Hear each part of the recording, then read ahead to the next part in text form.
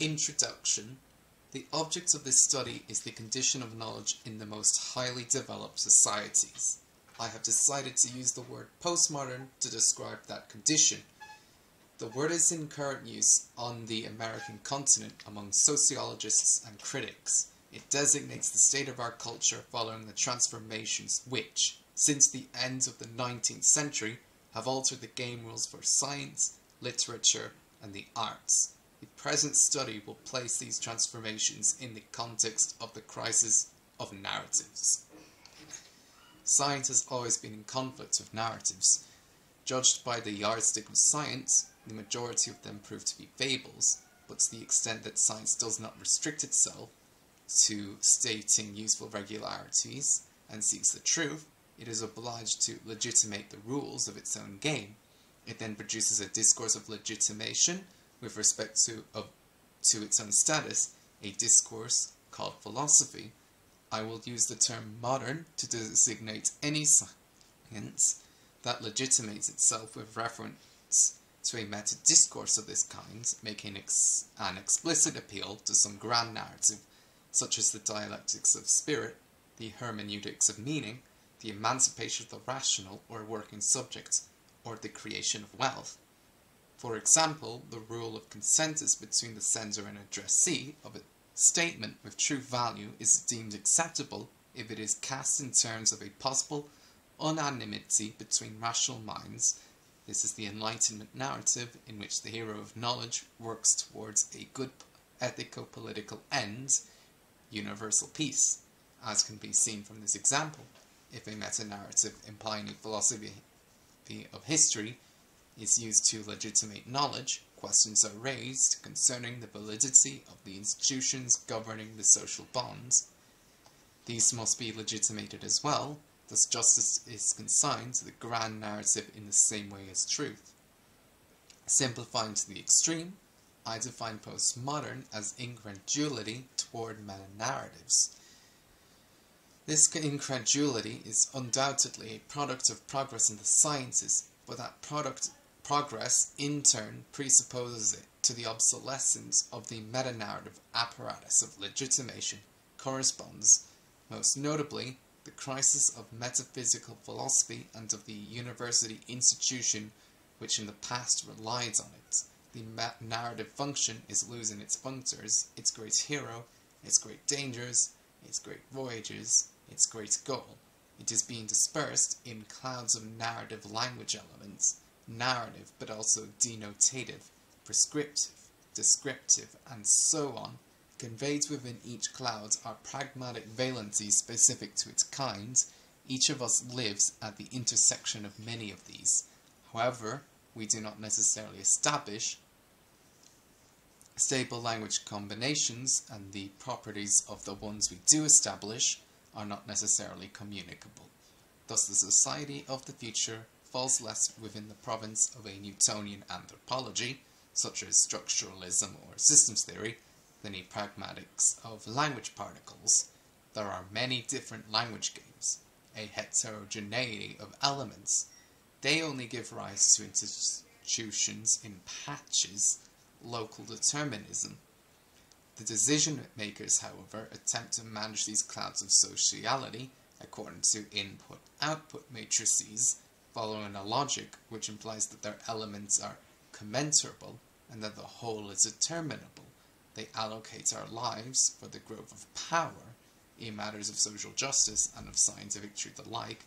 The legitimation of that power is based on its optimizing the system's performance, efficiency.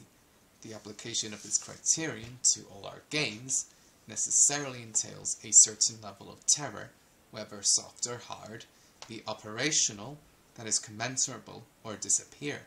The logic of maximum performance is no doubt inconsistent in many ways, particularly with respect to the contradiction in the socio-economic fields. It demands both less work to lower production costs and more to lessen the social burden of the idle population.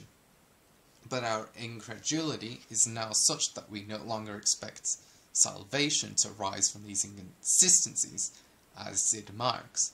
Still, the postmodern condition is as much a stranger to disenchantment as it is to the blind positivity of delegitimization. Where after the meta-narratives can legitimacy reside? The operativity criterion is technological. It has no relevance for judging what is true or just. Its legitimacy to be found in incentives obtained through discussion, as Jürgen Habermas thinks, such consensus does violence to the heterogeneity of language games. An invention is always born of dissension.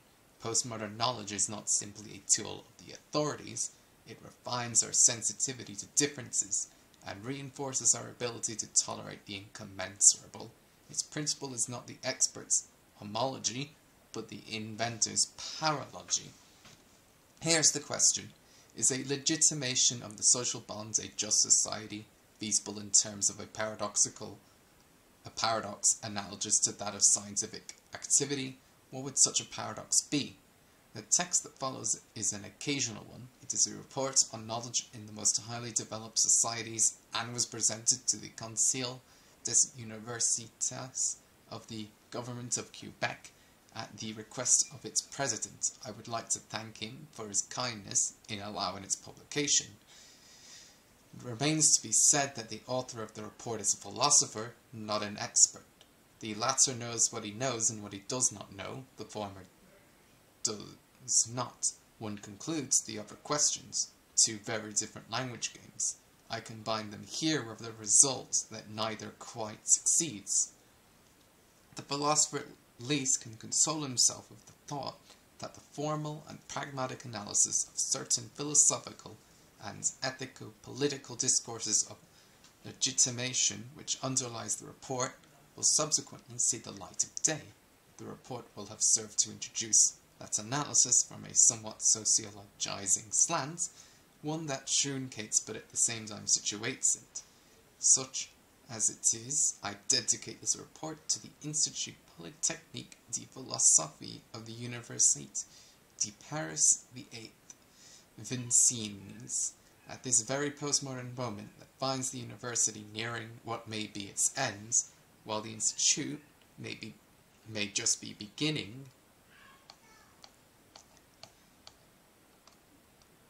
1. The fields of knowledge in computerized societies.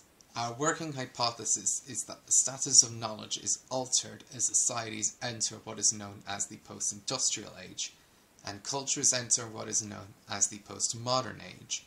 This transition has been underway since at least the end of the 1950s, which for Europe marks the completion of Reconstruction the pace is faster or slower depending on the country, and within countries it varies according to the sector of activity. The general situation is one of temporal disjunction, which makes sketching an overview difficult. A portion of the description would necessarily be conjectural. At any rate, we know that it is unwise to put too much faith in futurology. Rather than painting a picture that would inevitably remain incomplete, I will take as my point of departure a single feature, one that immediately defines our object of study.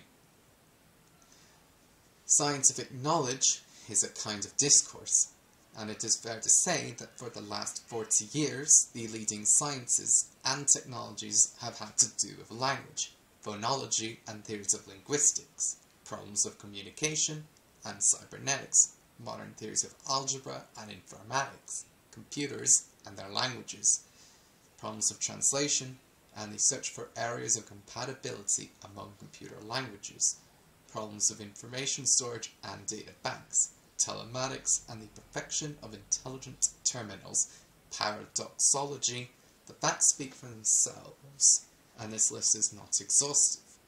These technological transformations can be expected to have a considerable impact on knowledge. Its two principal functions, research and the transmission of acquired learning are already feeling the effect, or will in the future, with respect to the first function, genetics provides an example that is accessible to the layman. It owes its theoretical paradigm to cybernetics. Many other examples could be cited, As for the second function, it is common knowledge that the miniaturization and commercialization of machines is already changing the way in which learning is acquired, classified, made available, and exploited. It is reasonable to suppose that the proliferation of information processing machines is having, and will continue to have, as much of an effect on the circulation of learning as the advancements in human circulation, transportation systems, and later in the circulation of sounds and visual images, the media. The nature of knowledge cannot survive unchanged within this context of general transformation.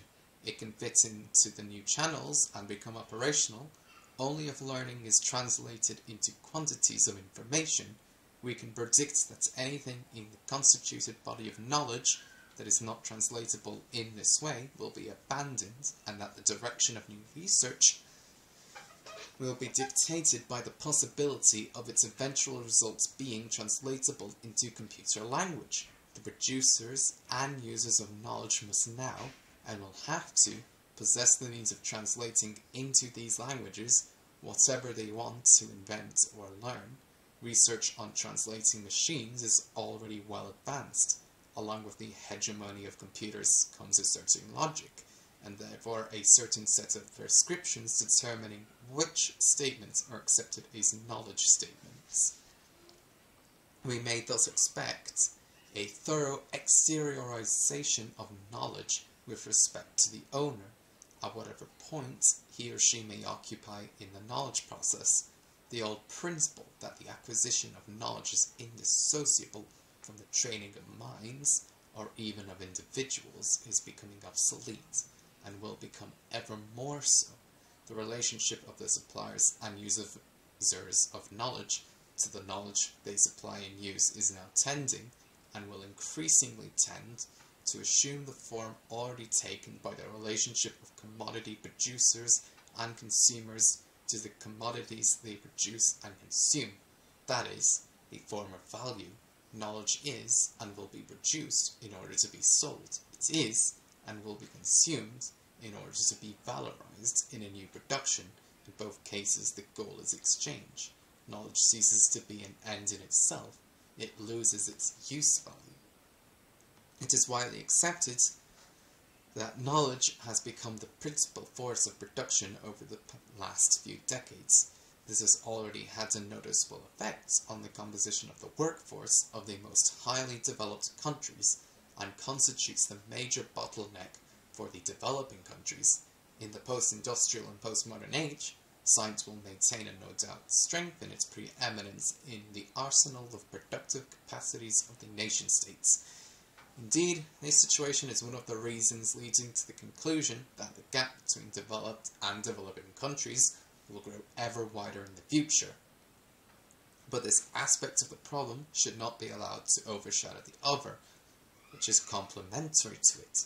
Knowledge in the form of an informational commodity indispensable to productive power is already, and will continue to be, a major, perhaps the major stake in the world's competition for power. It is, it is conceivable that the nation states will one day fight for control of information just as they battled in the past for control over territory, and afterwards for control of access to and exploitation of raw materials and cheap labor. A new field is open for industrial and commercial strategies on the one hand and political and military strategies on the other. However, the perspective I have outlined above is not as simple as I have made it appear for the mercantilization of knowledge is bound to affect the privilege of the nation states have enjoyed and still enjoy with respect to the production and distribution of learning. The notion that learning falls within the purview of the state, as the brain or mind of society, will become more and more outdated with the increasing strength of the opposing principle, according to which society exists and regresses only if the messages circulating within it are rich information and easy to decode. The ideology of communicational transparency, which goes hand in hand with the commercialization of knowledge, will begin to perceive the state as a factor of opacity and noise. It is from this point of view that the problem of the relationship between economic and state powers threatens to rise with a new urgency. Already in the last few decades, economic powers have reached the point of imperiling the stability of a state through new forms of the circulation of capital that go by the generic name of multinational corporations. These new forms of circulation imply that investment decisions have, at least in part, passed beyond the control of the nation states. The question threatens to become even more thorny with the development of computer technology and telematics. Suppose, for example, that a firm, such as IBM, is authorized to occupy a belt in the Earth's orbital field and launch communications satellites or satellites housing data banks, who will have access to them, who will determine which channels or data are forbidden. The state, or will the state simply be one user among others, new legal issues will be raised, and with them the question, who will know? transformation in the nature of knowledge then could well have repercussions on the existing public powers, forcing them to reconsider their relations, both de jure and de facto, with the large corporations, and more generally, with civil society. The reopening of the world market, a return to vigorous economic competition, the breakdown of the hegemony of American capitalism, the decline of the social the socialist alternative, a probable opening of the Chinese market, these and many other factors are already, at the end of the 1970s, preparing states for a serious reappraisal of the role they have been accustomed to playing since the 1930s, that of guiding or even directing investments. In this light, the new technologies can only increase the urgency of such a re-examination, since they make the information used in decision making, and therefore the means of control, even more mobile and subject to piracy. It is not hard to visualize learning circulating along the same lines as money instead of for its educational value or political, administrative, diplomatic, military importance. The pertinent distinction would no longer be between knowledge and ignorance, but rather as is the case with money, between payment knowledge and investment knowledge. In other words, between units of knowledge exchanged in a daily maintenance framework, the reconstitution of the workforce survival, versus funds of knowledge dedicated to optimizing the performance of a project. If this were the case, communicational transparency would be similar to liberalism. Liberalism does not preclude an organization of the flow of money, in which some channels are used in decision making, while others are only good for the payment of debts. One could similarly imagine flows of knowledge traveling along identical channels of identical nature, some of which would be reserved for the decision makers, while the others would be used to repay each person's perpetual debt with respect to the social bond. 2.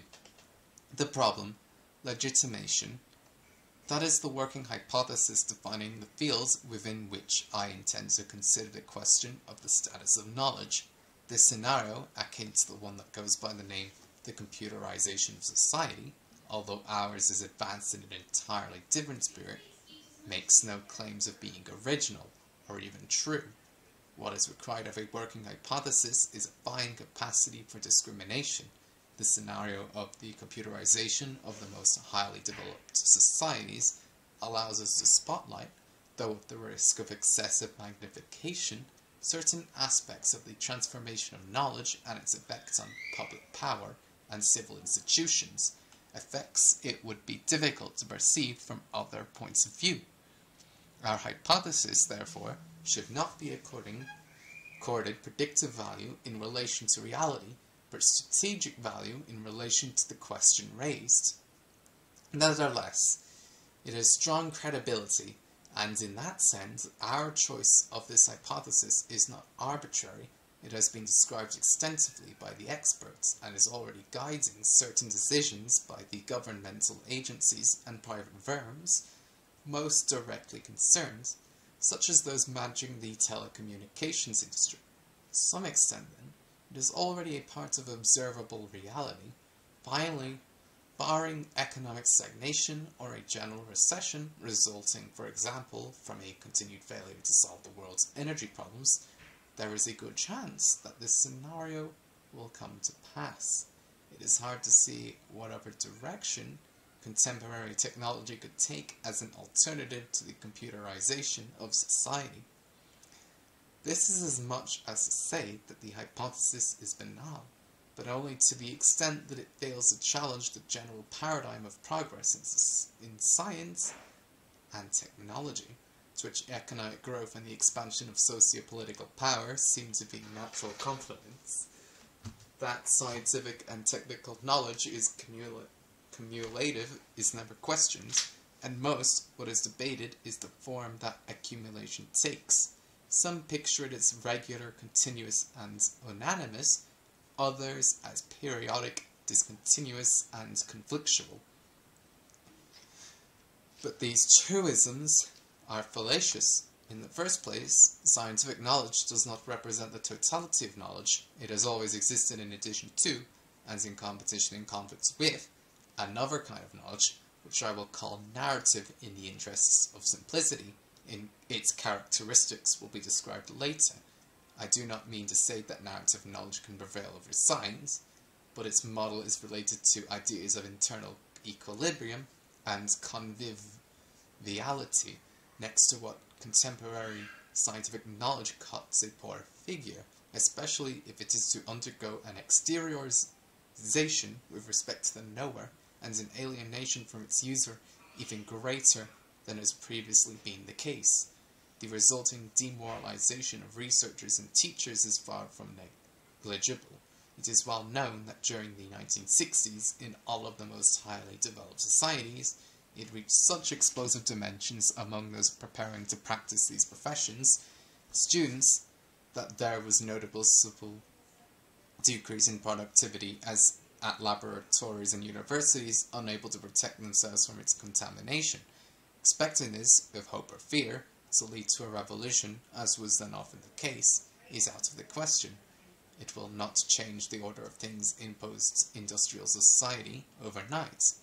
But this doubt in the part of scientists must be taken into account as a major factor in evaluating the present and future status of scientific knowledge it is all the more necessary to take it into consideration since, and this is the second point, the scientist's demoralization has an impact on the central problem of legitimation.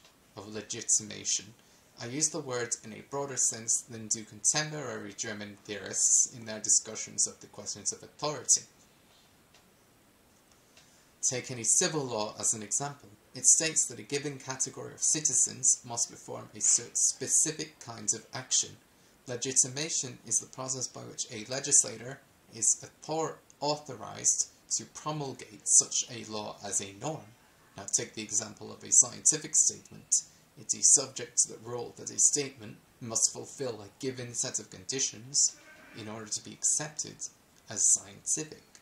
In this case, Legitimation is the process by which a legislator, dealing with scientific discourse, is authorized to prescribe and the stated conditions, in general, conditions of internal consistency and experimental verification, determining whether a statement is to be included in that discourse for consideration by the scientific community. The parallel may appear forced, but as we will see, it is not. The question of the legitimacy of science has been indissociably linked to that of the legitimation of the legislator since the time of Plato. From this point of view, the right to decide what is true is not independent of the right to decide what is just, even if the statements consigned to these two authorities differ in nature. The point is that there is a strict interlinkage between the kinds of language called science and the kinds called ethics and politics. They both stem from the same perspective, same choice, if you will, the choice called the Occident. Occident. When we examine the current status of scientific knowledge at a time when science seems more completely subordinated to the prevailing powers than ever before, and along with the new technologies, is in danger of becoming a major stake in their conflicts. The question of double legitimation, far from receding into the background, necessarily comes to the fore, for it appears in its most complete form that a reversion, revealing that knowledge and power are simply two sides of the same question, who decides what knowledge is, and who knows what needs to be decided. In the computer age, the question of knowledge is now more than ever a question of government. 3. The methods, language games. The reader will already have noticed that in analyzing this problem, within the framework set forth, I have favored a certain procedure, emphasizing facts of language and in particular their pragmatic aspects. To help clarify what follows, it would be useful to summarize, however briefly, what is meant here by the term pragmatic. A denotative utterance, such as the university is sick, made in the context of a conversation of an interview, positions its sender, the person who utters the statement, its addressee, the person who receives it, and its referent, what the statement deals with, in a specific way. The utterance places and exposes the sender in the position of, of knower. He knows what the situation is with the university. The addressee is put in the position of having to give or refuse his assent, and the referent itself is handled in a way unique to denotatives, as something that demands to be correctly identified and expressed by the statement that refers to it. If we consider a declaration such as the university is open, pronounced by a dean or rector at convocation, it is clear that the previous specifications no longer apply. Of course, the meaning of the utterance has to be understood, but that is a general condition of communication and does not aid us in distinguishing the different kinds of utterances or their specific effects. The distinctive feature of the second, performative utterance is that its effect upon the referent coincides with its enunciation. The university is open because it has been declared open in the above mentioned circumstances. That this is so is not subject to discussion or verification on the part of the addressee, who is immediately placed within the new context created by the utterance. As for the sender, he must be invested with the authority to make such a statement. Actually, we could say it the other way around. The sender is dean or rector, that is, he is invested with the authority to make this kind of statement only insofar as he can directly affect both the referent, the university, and addressee, the university staff, in the manner I have indicated. A different case involves utterances of the type give money to the university. These are prescriptions. They can be modulated as orders, commands, instructions, recommendations, requests, prayers, pleas, etc. Here, the sender is clearly placed in a position of authority, using the term broadly, includes the authority of a sinner over a God who claims to be merciful. That is, he expects the addressee to perform the action referred to. The pragmatics of prescription entail concomitant changes in the posts of addressee and referent. Of a different order again is the efficacy of a question, a promise, a literary description, a narration, etc. I am summarizing Wittgenstein, taking up the study of language again from scratch, focuses his attention on the effects of different modes of discourse. He calls the various types of utterances he identifies along the way, a few of which I have listed, language games. What he means by this term is that each of the various categories of utterance can be defined in terms of rules, specifying their properties and the uses to which they can be in exactly the same way as the game of chess is defined by a set of rules determining the properties of each of the pieces, in other way, words, the proper way to move them. It is useful to make the following three observations about language games. The first is that their rules do not carry with them, within themselves their own legitimation, but are the object of a contract, explicit or not, between players, which is not to say that the players invent the rules. The second is that if there are no rules, there is no game, that even an infinitesimal modification of one rule alters the nature of the game, that a move or utterance that does not satisfy the rules does not belong to the game they define. The third remark is suggested by what has just been said. Every utterance should be thought of as a move in a game. This last observation brings us to the first principle underlying our method as a whole. To speak is to fight in the sense of playing, and speech acts falls within the domain of a general ag agonistics. This does not necessarily mean that one plays in order to win. A move can be made for the sheer pleasure of its invention. What else is involved in the labour of language harassment undertaken by popular speech and by literature? Great joy is had in the endless invention of turns of phrase, of words and meanings, the process behind the evolution of language on the level of parole. But undoubtedly, even this pleasure depends on a feeling of, of success won at the expense of an adversary, at least one adversary, and a formidable one, the accepted language or connotation. The idea of an agonistics of language should not make us lose sight of the second principle which stands as a complement to it and governs our analysis, that the observable social bond is composed of language and moves. An elucidation of this proposition will take us to the heart uh, of the matter at hand. 4. The nature of the social bond, the modern alternative. If we wish to discuss knowledge in the most highly developed contemporary society, we must answer the preliminary question of what methodological representation to apply to that society. Simplifying to the extreme, it is fair to say that in principle there have been, at least over the ha last half century, two basic representational models for society. Either society forms a functional whole, or it is divided in two. An illustration of the first model is suggested by Talcott Parsons, at least the post-war Parsons, at a school, and the second by the Marxist current. All of its component schools, whatever differences they may have, accept both the principle of class struggle and dialectics as a duality operating within society.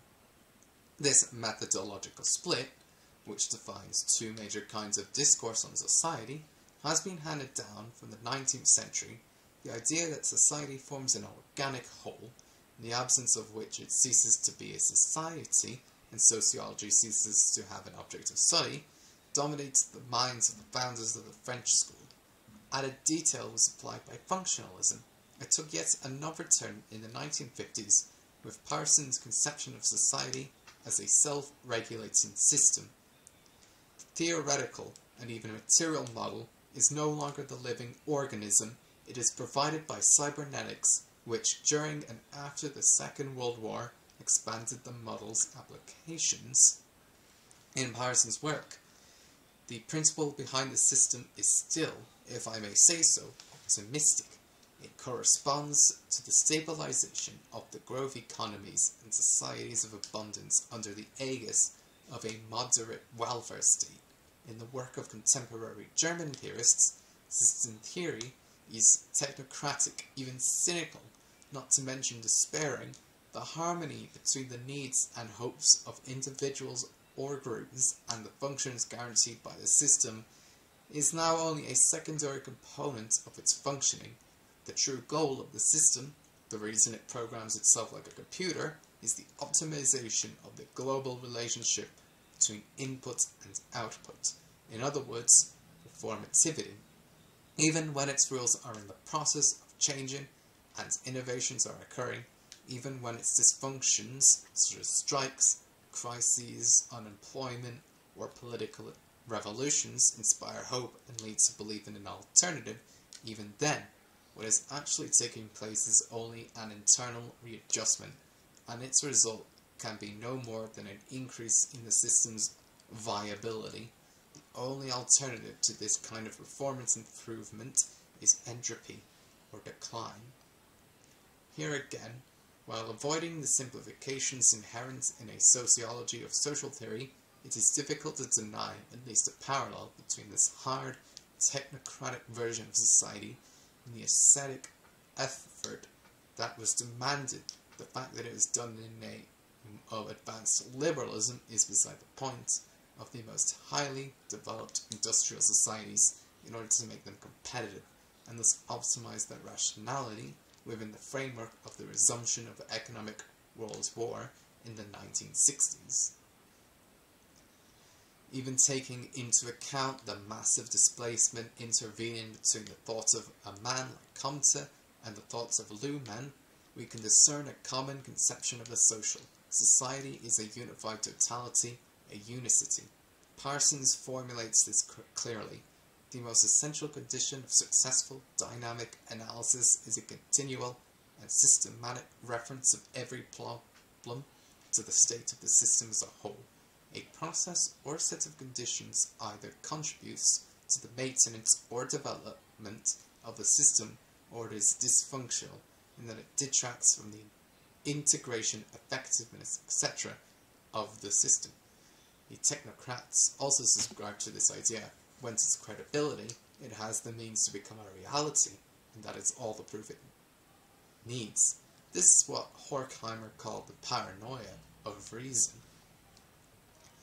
But this realism of systemic self-regulation and its perfectly sealed circle of facts and interpretations can be judged paranoid only if one has, or claims to have, at one's disposal a viewpoint that is in principle immune from their allure.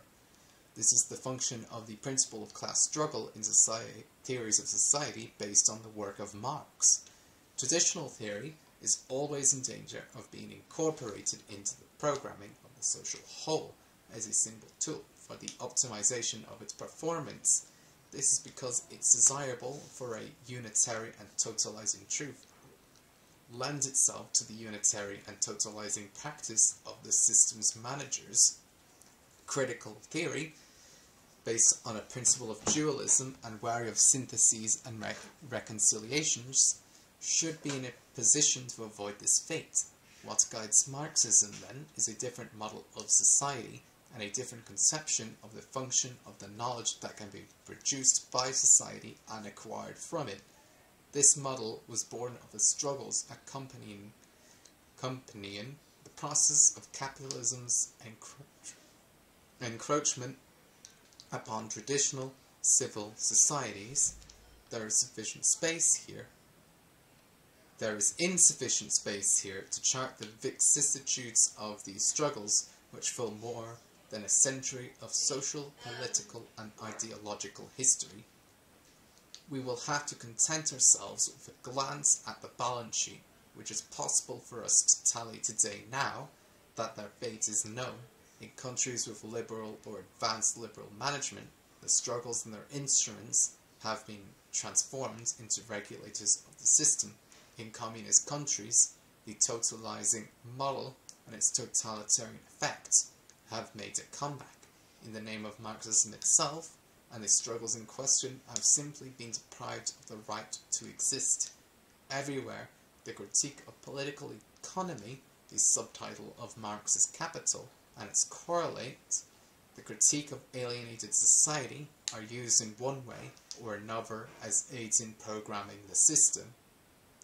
Of course, certain minorities, such as the Frankfurt School or the group Socialisme or Barbarie, preserved and refined the critical model in opposition to this process, but the social foundation of the principle of division or class struggle was blurred to the point of losing all of its radicality, we cannot conceal the fact that the critical model in the end lost its theoretical standing and was reduced to the status of a utopia or hope, a token protest raised in the name of man or reason or creativity, are again of some social category, such as the third world or the students, on which is conferred, in extremis, the henceforth improbable function of critical subjects.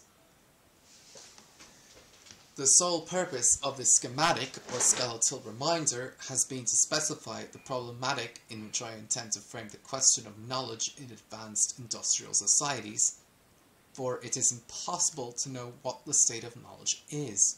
In other words, the problems its development and distribution are facing today without knowing something of the, of the society within which it is situated, and today, more than ever, knowing about that society involves first of all choosing what approach the inquiry will take, and that necessarily means choosing how society can answer.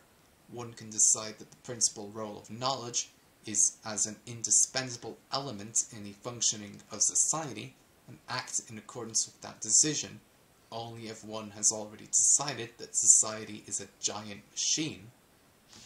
Conversely, one can count on its critical function and orient its development and distribution in that direction only after it has been decided that society does not form an integrated whole, but remains haunted by a principle of opposition. The alternative seems clear. It is a choice between the homogeneity and the intrinsic duality of the social, between functional and critical knowledge, but the decision seems difficult or arbitrary. It is tempting to avoid the decision altogether by distinguishing two kinds of knowledge. One, positivist kinds, would be directly applicable to technologies bearing on men and materials and would lend itself to operating as an indispensable productive force within the system. The other, the critical, reflexive, or hermeneutic kinds, by reflecting directly or indirectly on values or aims, would resist any such recuperation. 5. The nature of the social bond, the postmodern perspective. I find this partition solution unacceptable. I suggest that the alternative it attempts to resolve, but only reproduces, is no longer relevant for the societies with which we are concerned, and that the solution itself is still caught within a type of oppositional thinking that is out of step with the most vital modes of postmodern knowledge. As I have already said, economic redeployment in the current phase of capitalism, aided by a shift in techniques and technology, goes hand in hand with a change in the function of the state. The image of society, the syndrome, suggests necessitates a serious revision of the alternate approaches considered. For brevity's sake, Suffice it to say that functions of regulation, and therefore of reproduction, are being and will be further withdrawn from administrators and entrusted to machines. Increasingly, the question is becoming who will have access to the information these machines must have in storage to guarantee that the right decisions are made. Access to data is and will continue to be the prerogative of experts of all stripes. The ruling class is and will continue to be the class of decision makers. Even now, it is no longer composed of the traditional political class, but of a composite layer of corporate leaders, high-level administrators, and the heads of the major professional, labor, political, and religious organizations. What is new in all of this is that the old poles of attraction represented by nation states, parties, professions, institutions, and historical traditions are losing their attraction, and it does not look as though they will re be replaced, at least not on their former scale. The Trilateral Commission is not a popular pole of attraction. Identifying with the great names, the heroes of contemporary history, is becoming more and more difficult dedicating oneself to catching up with Germany, the life goal the French president Giscard d'Estaing at the time the book was published in France seems to be offering his countrymen is not exactly exciting. But then again, it is not exactly a life goal. It depends on each individual's industriousness. Each individual is referred to himself, and each of us knows that our self does not amount to much. This breaking up of the grand narratives discussed below, sections 9 and 10, leads to what some authors analyze in terms of the dissolution of the social bond and the disintegration of social aggregates into a mass of individual atoms thrown into the absurdity of Brownian motion.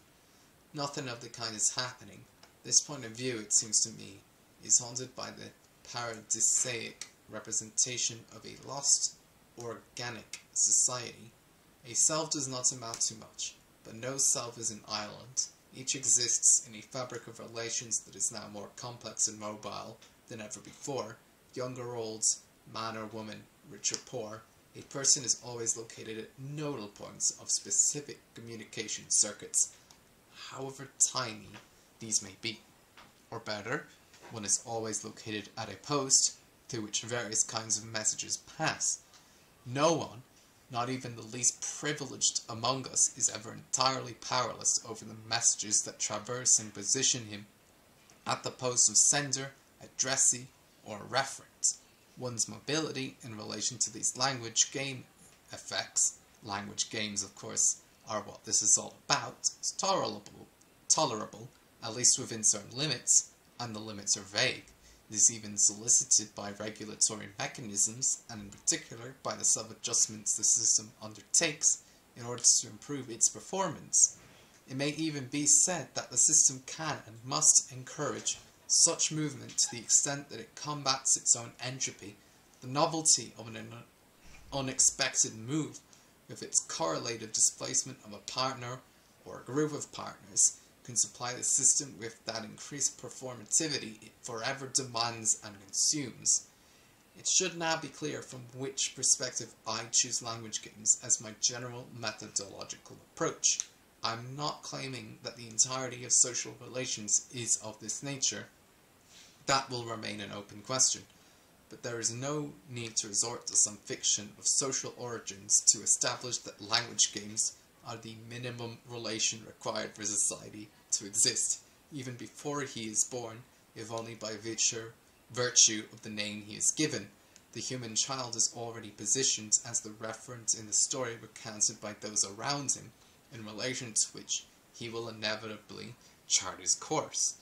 Or more simply still, the question of the social bonds, insofar as it is a question, is itself a language game, the game of inquiry, it immediately positions the person who asks, as well as the addressee and the referent asked about. It is already the social bonds. On the other hand, in a society whose communication component is becoming more prominent day by day, both as a reality and as an issue, it is clear that language assumes a new importance. It would be superficial to reduce its significance to the traditional alternative between manipulatory speech and the unilateral transmission of messages on the one hand and free expression and dialogue on the other. A word on this last point. If the problem is described simply in terms of communication theory, two things are overlooked. First, messages have quite different forms and effects depending on whether they are, for example, denotatives, prescriptives, evaluatives, performatives, etc. It's clear but what is important is not simply the fact that they communicate information. Reducing them to this function is to adopt an outlook which unduly privileges the system's own interests and point of view.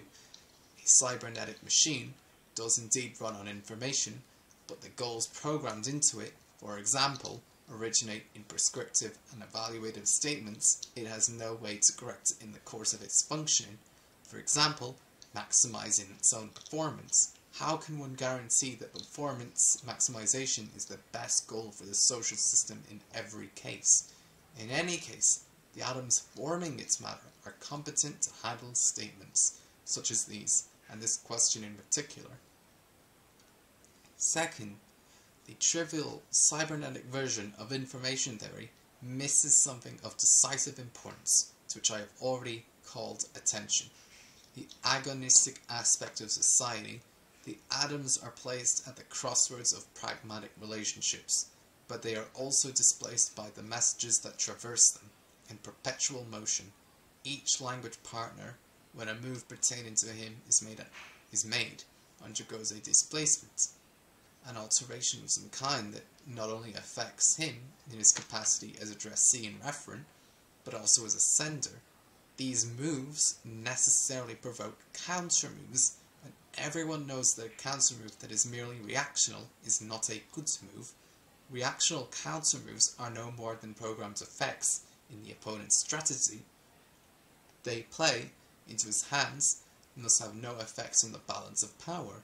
That is why it is important to increase displacement in the games and even disorient it in such a way as to make an unexpected move a new statement. What is needed if we are to understand social relations in this manner, on whatever scale we choose, is not only a theory of communication, but a theory of games, which accepts agonistics as a founding principle. In this context, it is easy to see that the essential element of newness is not simply innovation. Support for this approach can be found in the work of a number of contemporary sociologists, in addition to linguists, linguists and philosophers of language. This atomization of the social into flexible networks of language games may seem far removed from the modern reality, which is depicted, depicted on the contrary as afflicted with bureaucratic paralysis. The objection will be made at least that the weight of certain institutions imposes limits on the games and thus restricts the inventiveness of the players in making their moves. But I think this can be taken into account without causing any particular difficulty. In the ordinary, ordinary use of discourse, for example, in a discussion between two friends, interlocutors use any available ammunition, changing games from one utterance to the next. Questions, requests, assertions, and narratives are launched pell-mell into battle. The war is not without rules, but the rules allow and encourage the greatest possible flexibility of utterance. From this point of view, an institution differs from a conversation in that it is all in that it always requires supplementary constraints or statements to be declared admissible within its bounds. The constraints function to filter discursive potentials, interrupting possible connections in the communication networks. There are things that should not be said. They also privilege certain classes of statements, sometimes only. One, whose predominance characterizes the discourse of the particular institution. There are things that should be said, and there are ways of saying them, thus, orders in the army, prayer in church, denotation in the schools, narration in families, questions in philosophy, performativity in businesses. Bureaucratization is the outer limit of this tendency.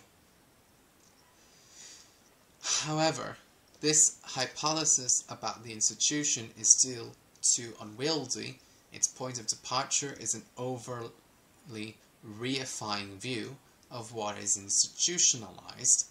We know today that the limits the institution imposes on potential language moves are never established, once and for all, even if they have been formally defined. Rather, the limits are themselves the stakes and provisional results of language strategies within the institution and without. Examples. Does the university have a place for language experiments? Poetics. Can you tell stories in a cabinet meeting? Advocate a cause in the barracks? The answers are clear yes. If the university opens creative workshops, yes. If the cabinet works with perspective scenarios, yes. If the limits of the old institution are displaced, Specifically, it can be said that the boundaries only stabilize when they cease to be stakes in the game. This, I think, is the appropriate approach to contemporary institutions of knowledge. 6. The Pragmatics of Narrative Knowledge. Section 1. I level two objections against the unquestioning acceptance of an instrumental conception of knowledge in the most highly developed societies, knowledge is not the same as science, especially in its contemporary form. Science, far from successfully obscuring the problem of its legitimacy, cannot avoid raising it with all of its implications, which are no less sociopolitical than epistemological. Let us begin with an analysis of the nature of narrative.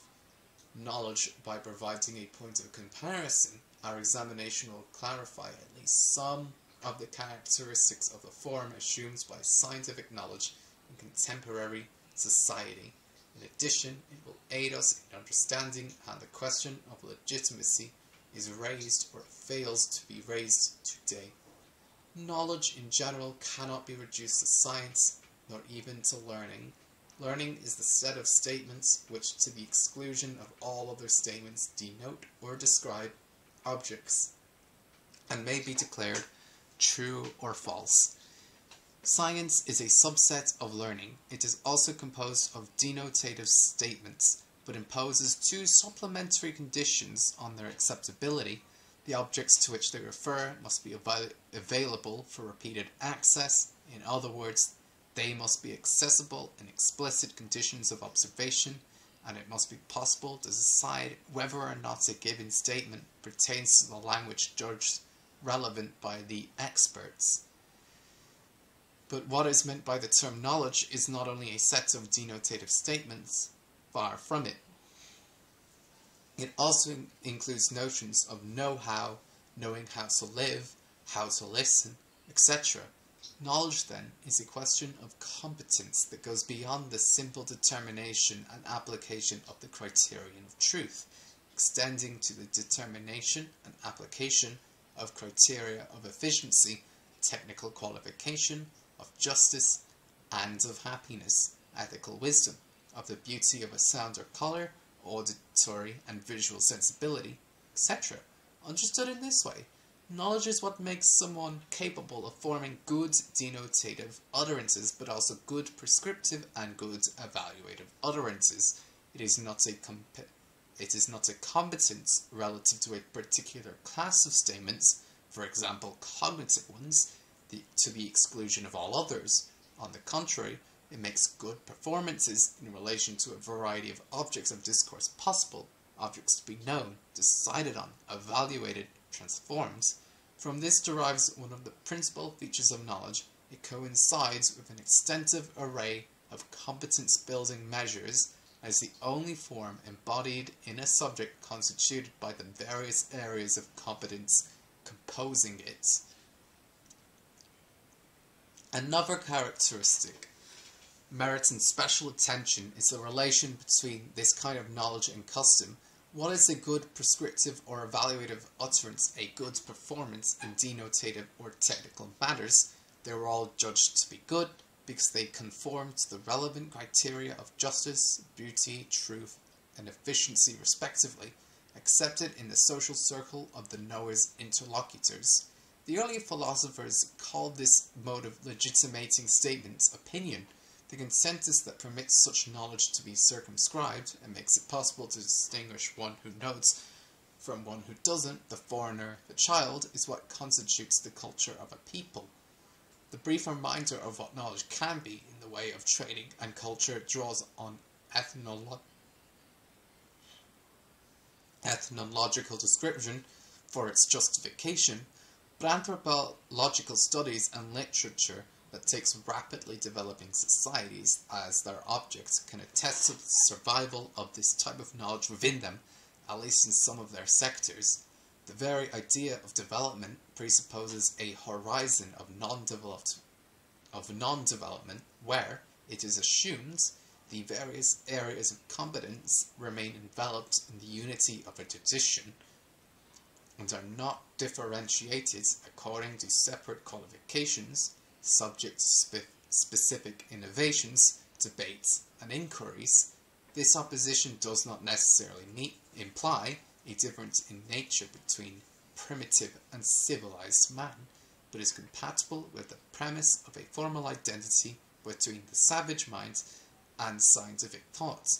It is even compatible with the apparently contrary premise of the superiority of customary knowledge over the contemporary dispersion of competence.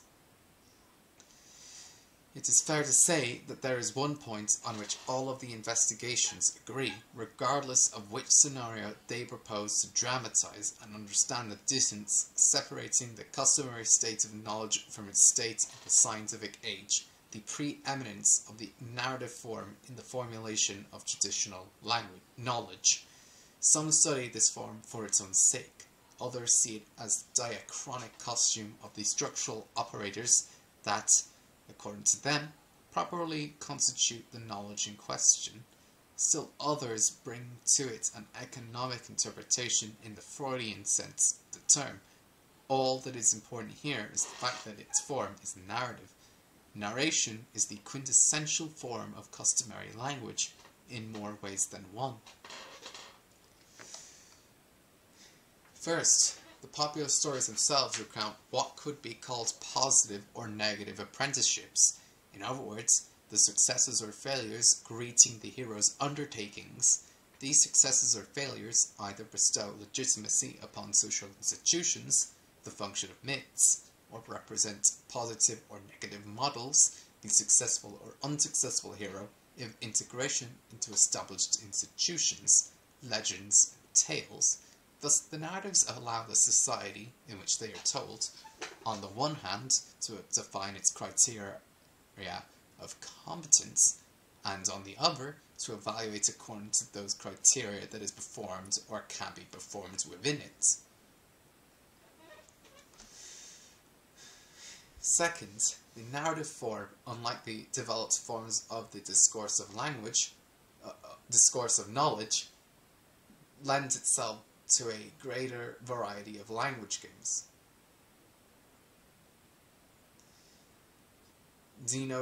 denotative statements concerning, for example, the state of the sky and the flora and fauna easily slip in. So do deontic statements prescribing what should be done with respect to these same reference, or with respect to kinship, the difference between the sexes, children, neighbors, foreigners, etc. Interrogative statements are implied, for example, in episodes involving challenges, respond to a question, choose one from a number of things, evaluative statements also enter in, etc. The areas of competence whose criteria the narrative supplies replies are thus tightly woven together in the web it forms ordered by the unified viewpoint characteristic of this kind of knowledge. We shall examine in somewhat more detail a third property, which relates to the transmission of narratives. Their narration usually obeys rules that define the pragmatics of their transmission. I do not mean to say that a given society institutionally assigns the role of narrator to certain categories on the basis of age, sex, or family or professional group. What I am getting at is a pragmatics of popular narratives that is, so to speak, intrinsic to them. For example, a Kashinahua storyteller always begins his narration with a fixed formula. Here is the story of, as I've already heard it told, I will tell it to you in my turn. Listen. And he brings it to a close with another, also in variables formula. Here ends the story of, the man who has told it to you is Kashinahua uh, name, or to the whites, Spanish or Portuguese name. A quick analysis of this double pragmatic instruction reveals the following. The narrator's only claim to competence for telling the story is the fact that he has heard it himself. The current narratee gains potential access to the same authority simply by listening. It is claimed that the narrative is a faithful transmission, even if the narrative performance is highly inventive, and that it has been told forever.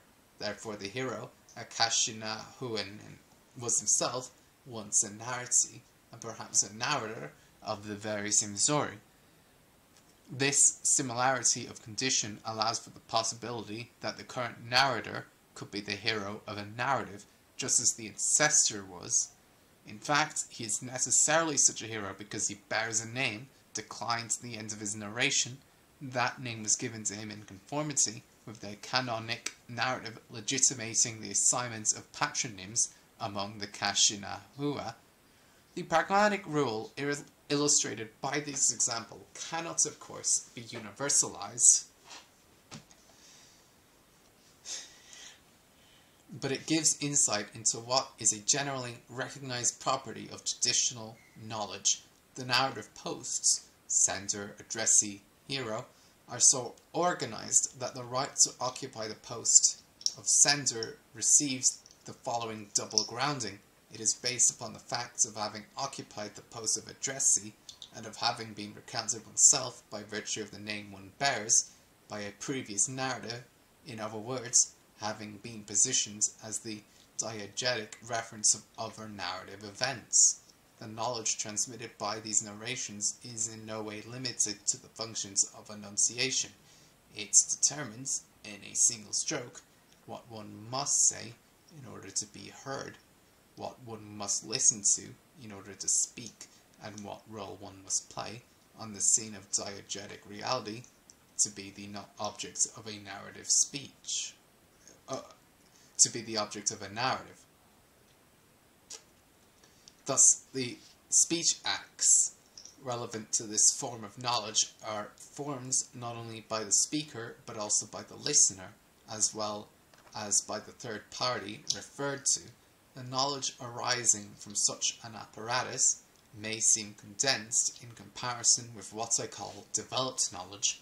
Our example clearly illustrates that a narrative tradition is also the, the tradition of the criteria defining a threefold competence know how, knowing how to speak, and knowing how to hear, through which the community's relationship to itself and its environment is played out. What is transmitted through these narratives is the set of pragmatic rules that constitutes the social bond. A fourth aspect of narrative knowledge, meriting careful examination, is its effect on time. Narrative form follows a rhythm. It is the synthesis of a meter beating time in regular periods and of accent modifying the length or amplitude of certain of those periods. This vibratory musical property of narrative is clearly revealed in the ritual performance of certain Kashinahua tales. They are handed down in initiation ceremonies in absolutely fixed form, in a language whose meaning is obscured by lexical and syntactic anomalies, and they are sung as interminable, monotonous chants. It is a strange brand of knowledge, you may say, that does not even make itself understood to the young men to whom it is addressed. And yet this kind of knowledge is quite common. Nursery rhymes are of this type, and repetitive forms of contemporary music have tried to recapture or at least approximate it. It exhibits a surprising feature as meter takes precedence over accent in the production of sound, spoken or not. Time ceases to be a support for memory to become an immemorial beating that, in the absence of a noticeable separation between periods, prevents their being numbered and consigns them to oblivion Consider the form of popular sayings, proverbs, and maxims. They are like little splinters of potential narratives or molds of old ones which have continued to circulate on certain levels of the contemporary social edifice. In their prosody can be recognized the mark of that strange temporalization that jars the golden rule of our knowledge. Never forget. Now, there must be a congruence between this lethal function of narrative knowledge and the functions cited earlier and of criteria for formation, the unification of areas of competence and social regulation. By way of a simplifying fiction, we can hypothesize that against all expectations, a collectivity that makes narrative as its key form of competence has no need to remember its past it finds the raw material for its social bonds, not only in the meaning of the narratives it recounts, but also in the act of reciting them. The narrative's reference may seem to belong to the past, but in reality it is always contemporaneous with the act of recitation. It is the present act that on each of its occurrences marshals in the ephemeral temporality inhabiting the space between the I have heard and the you will hear. The important thing about the pragmatic protocol of this kind of narration is that it betokens a theoretical identity between each of the narrative's occurrences. This may not in fact be the case, and often is not, and we should not blind ourselves to the elements of, the, of humor or anxiety noticeable in the respects this etiquette inspires. The fact remains that what is emphasized is the metrical beats of the narrative occurrences. Not each performance is different an accent, it is in this sense that this mode of temporality can be said to be simultaneously evanescent and immemorial. Finally, a culture that gives precedence to the narrative form doubtless has no more of a need for special procedures to authorize its narratives than it has to remember its past. It is hard to imagine such a culture first isolating the post of narrator from the others in order to give it a privileged status in narrative pragmatics, then inquiring into what right the narrator, which is thus disconnected from the narratee, and diegesis, might have to recount what he recounts, and finally, undertaking the analysis or am anamnesis of its own legitimacy. It is even harder to imagine it handing over the authority for its narratives to some incomprehensible subject of narration. The narratives themselves have this authority. In a sense, the people are only that which actualizes the narratives. Once again, they do this not only by recounting them, but also by listening to them and recounting themselves through them. In other words, by putting them into play in their institutions, thus by assigning themselves the posts of narratee and diegesis, as well as the post of narrator. There is then an incommensurability between popular narrative pragmatics, which provides immediate legitimation, and the language game known to the West as the question of legitimacy, or rather, legitimacy as a reference in the game of inquiry Narratives, as we have seen, determine criteria of competence and or illustrate how they are to be applied. They thus define what has the right to be said and done in the culture in question. And since they are themselves a part of that culture, they are legitimated by the simple fact that they do what they do. Seven, the pragmatics of scientific knowledge. Let us attempt to characterize, if only in summary fashion, the classical conception of the pragmatics of scientific knowledge. In the process, we will distinguish between the research game and the teaching game. Copernicus states that the path of the planet is circular. Whether this proposition is true or false, it carries within it a set of tensions, all of which affect each of the pragmatic posts it brings into play, sender, addressee, and referent. These tensions are classes of prescriptions which regulate the admissibility of the statement as scientific. First, the sender should speak the truth about the referent, the path, the planets. What does this mean? That, on the other hand, he's supposed to be able to provide proof of what he says, and on the other hand, he's supposed to be able to refute any opposing or contradictory statements concerning the same reference. Second, it should be possible for the addressee val validly to give or refuse his assent to the statement he hears. This implies that he is himself a potential sender, since when he formulates his agreement or disagreement, he will be subject to the same double requirement or proof of refutation, proof or refutation that Copernicus was. He is therefore supposed to have potentially the same qualities as Copernicus, he is his equal. But this will only become known when he speaks and under the above conditions. Before that, it will be impossible to say whether or not he is a scientific scholar. Third, the referent, the path of the planets of which Copernicus speaks, is supposed to be expressed by his statements in conformity with what it actually is. But since what is it is can only be known through statements of the same order as that of Copernicus, the rule of adequation becomes problematical. What I say is true, because I prove that it is, but what proof is there that my proof is true? The scientific solution of this difficulty consists in the observance of two rules. The first of these is dialectical or even rhetorical in the forensic sense. A reference is that which is susceptible to proof and can be used as evidence in a debate. Not, I can prove something because reality is the way I say it is. But as long as I can produce proof, it is permissible to think that reality is the way I say it is. The second rule is metaphysical. The same referent cannot supply a plurality of contradictory or inconsistent proofs, or stated differently, God is not deceptive. These two rules underlie what 19th century science calls verification and 20th century science falsification. They allow a horizon of consensus to be brought to the debate between partners, the sender and the addressee. Not every consensus is assigned truth, but it is presumed that the truth of a statement necessarily draws a consensus. That covers research.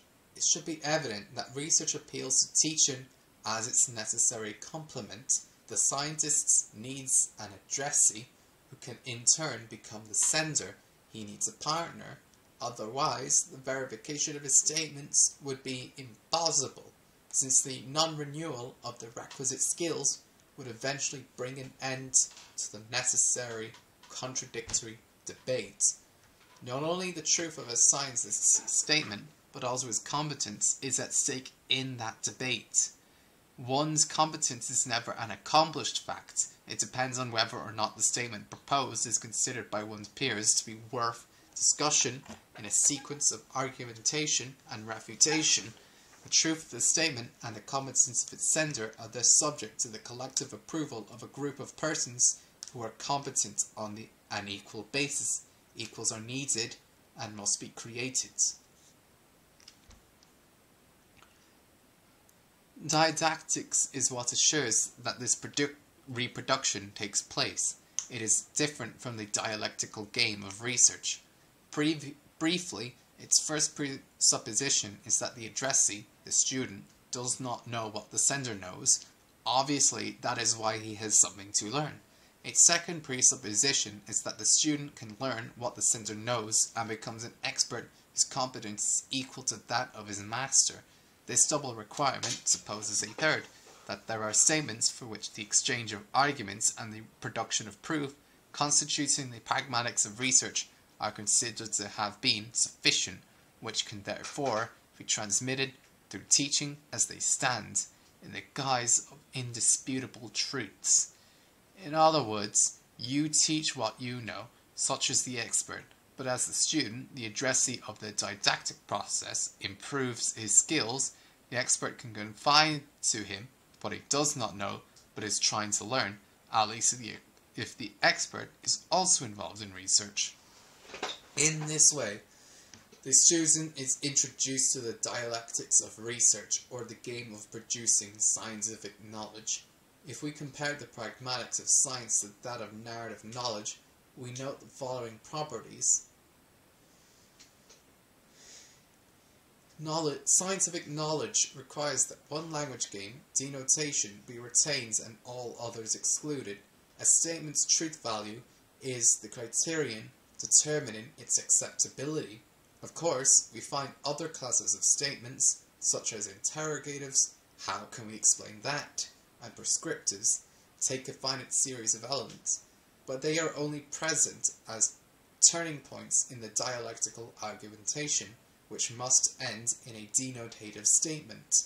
In this context, then, one is learned if one can produce a true statement about a reference, and one is a scientist if one can produce verifiable or falsifiable statements about reference accessible to the experts. Scientific knowledge is in this way set apart from the language games that combine to form the social bonds Unlike narrative knowledge, it is no longer a direct and shared component of the bond, but is indirectly a component of it because it develops into a profession and gives rise to institutions, and in modern societies, language games consolidate themselves in the form of institutions run by qualified partners, the professional class. the relation between knowledge and society, that is, the sum total of partners in the general agonistics, excluding scientists in their professional capacity, becomes one of mutual exteriority. A new problem appears, that of the relationship between the scientific institution and society. Can this problem be solved by didactics, for example, by the premise that any social atom can acquire scientific competence? Within the bounds of the game of research, the competence required concerns the post of sender alone. There is no particular competence required of the addressee. It is required only in didactics that the student must be intelligent, and there is no competence required of the referent, even in the case of the human scientists, science, even in the case of the human sciences, where it is an aspect of human conduct, the referent is in principle external to the partners engaged in scientific dialectics.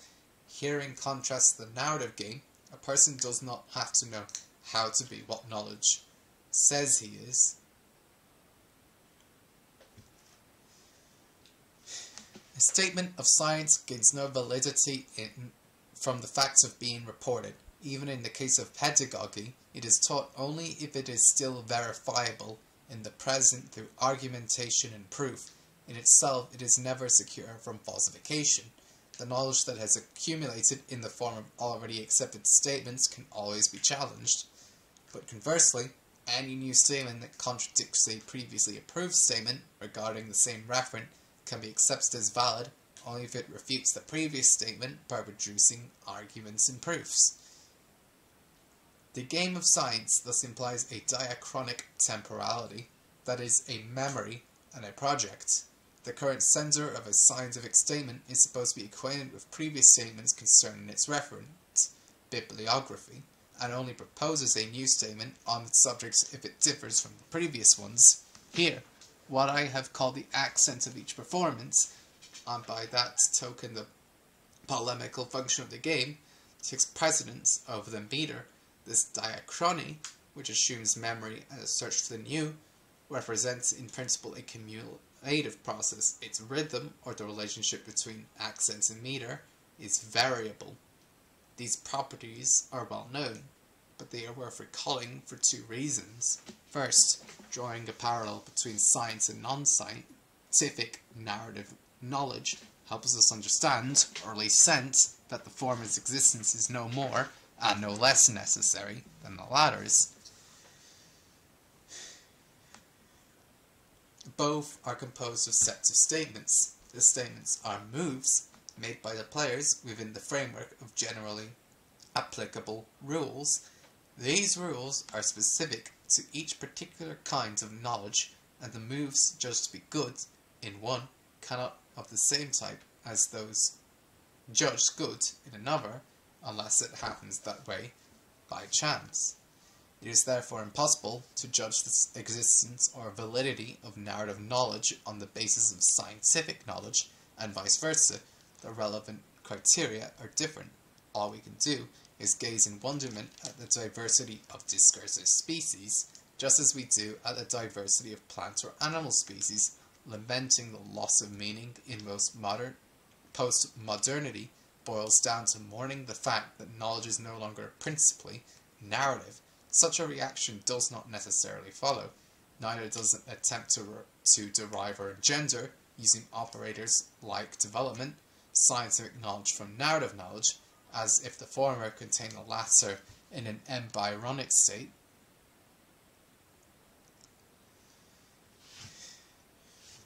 Nevertheless, Language species, like living species, are interrelated, and the relations are far from harmonious. The second point justifying this quick reminder on the properties of the language game of science concerns precisely its relation to narrative knowledge. I have said that narrative knowledge does not give priority to the question of its own legitimation, and that it certifies itself in the pragmatics of its own transmission without having recourse to argumentation and proof. This is why its incomprehension of the problems of scientific discourse is accompanied by a certain tolerance. It approaches such discourse primarily as a variant in the family of narrative cultures, the opposite is not true. The scientist questions the validity of narrative statements and concludes that they are never subject to argumentation or proof. He cla classifies them as belonging to a different mentality, savage, primitive, underdeveloped, backward, alienated, composed of opinions, customs, authority, prejudice, ignorance, ideology. Narratives are fables, myths, legends, fit only for women and children. At first attempts, at best, attempts are made to throw some rays of light into this obscurantism, to civilize, educate, develop. This unequal relationship is an intrinsic effect of the rules specific to each game. We all know its symptoms. It is the entire history of cultural imperialism from the dawn of Western civilization. It is important to recognize its special tenor, which sets it apart from all other forms of imperialism. and is governed by the demand for legitimation.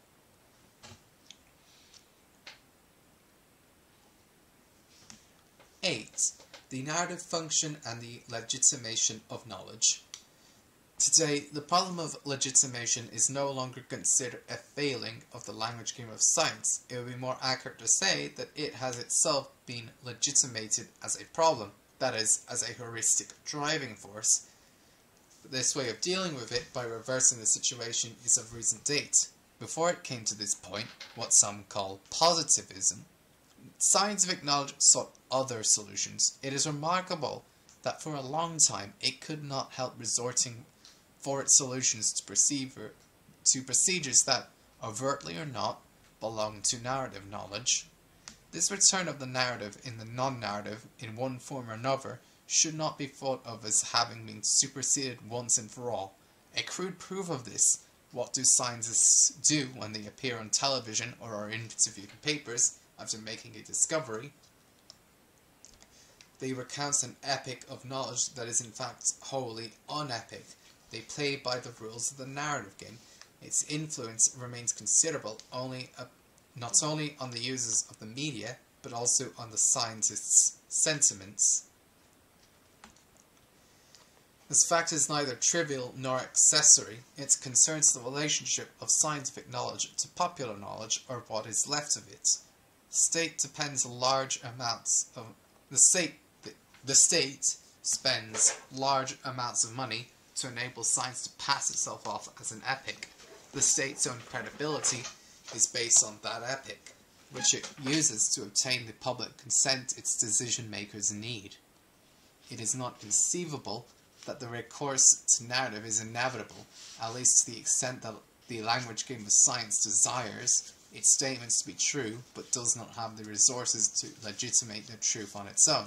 If this is the case, it is necessary to admit an irreducible need for history understood, as outlined above, not as a need to remember or to project, a need for historicity, historicity for action, but on the contrary, as a need to forget, a need for a metro. See section 6. We are anticipating ourselves, but as we proceed, we should keep in mind that the apparently obsolete solutions that have been found for the problem of legitimation are not obsolete in principle, but only in their expression. We should not be surprised if we find that they have persisted to this day in other forms. Do not we ourselves, at this moment, feel obliged to mount a narrative of scientific knowledge in the West in order to clarify its status? The new language game of science posed the problem of its own legitimation at the very beginning in Plato. This is not the proper place for the exegesis of the passages in the dialogues in which the pragmatics of science is set in motion, either explicitly as a theme or implicitly as a presupposition. The game of dialogue, with its specific requirements, encapsulates that pragmatics enveloping within itself its two functions of research and teaching. We encounter some of the same rules previously enumerated, argumentation with a view only to consensus, the, un the unicity of the referent as a guarantee for the possibility of agreement, parity between partners and even any indirect recognition that it is a question of a game and not a destiny, since those who refuse to accept the rules out of weakness or crudeness are excluded. There remains the fact that, given the scientific nature of the game, the questions of its own legitimacy must be among those raised in the dialogues. A well-known example of this, which is all the more important since it links quest this question to that of socio-political authority from the start, is to be found in books 6 and 7 of the Republic. As we know, the answer, at least part of it, comes in the form of a narrative, the allegory of the cave, which recounts how and why man yearn for narratives and fails to recognize knowledge. Knowledge is founded on the narrative of its own martyrdom.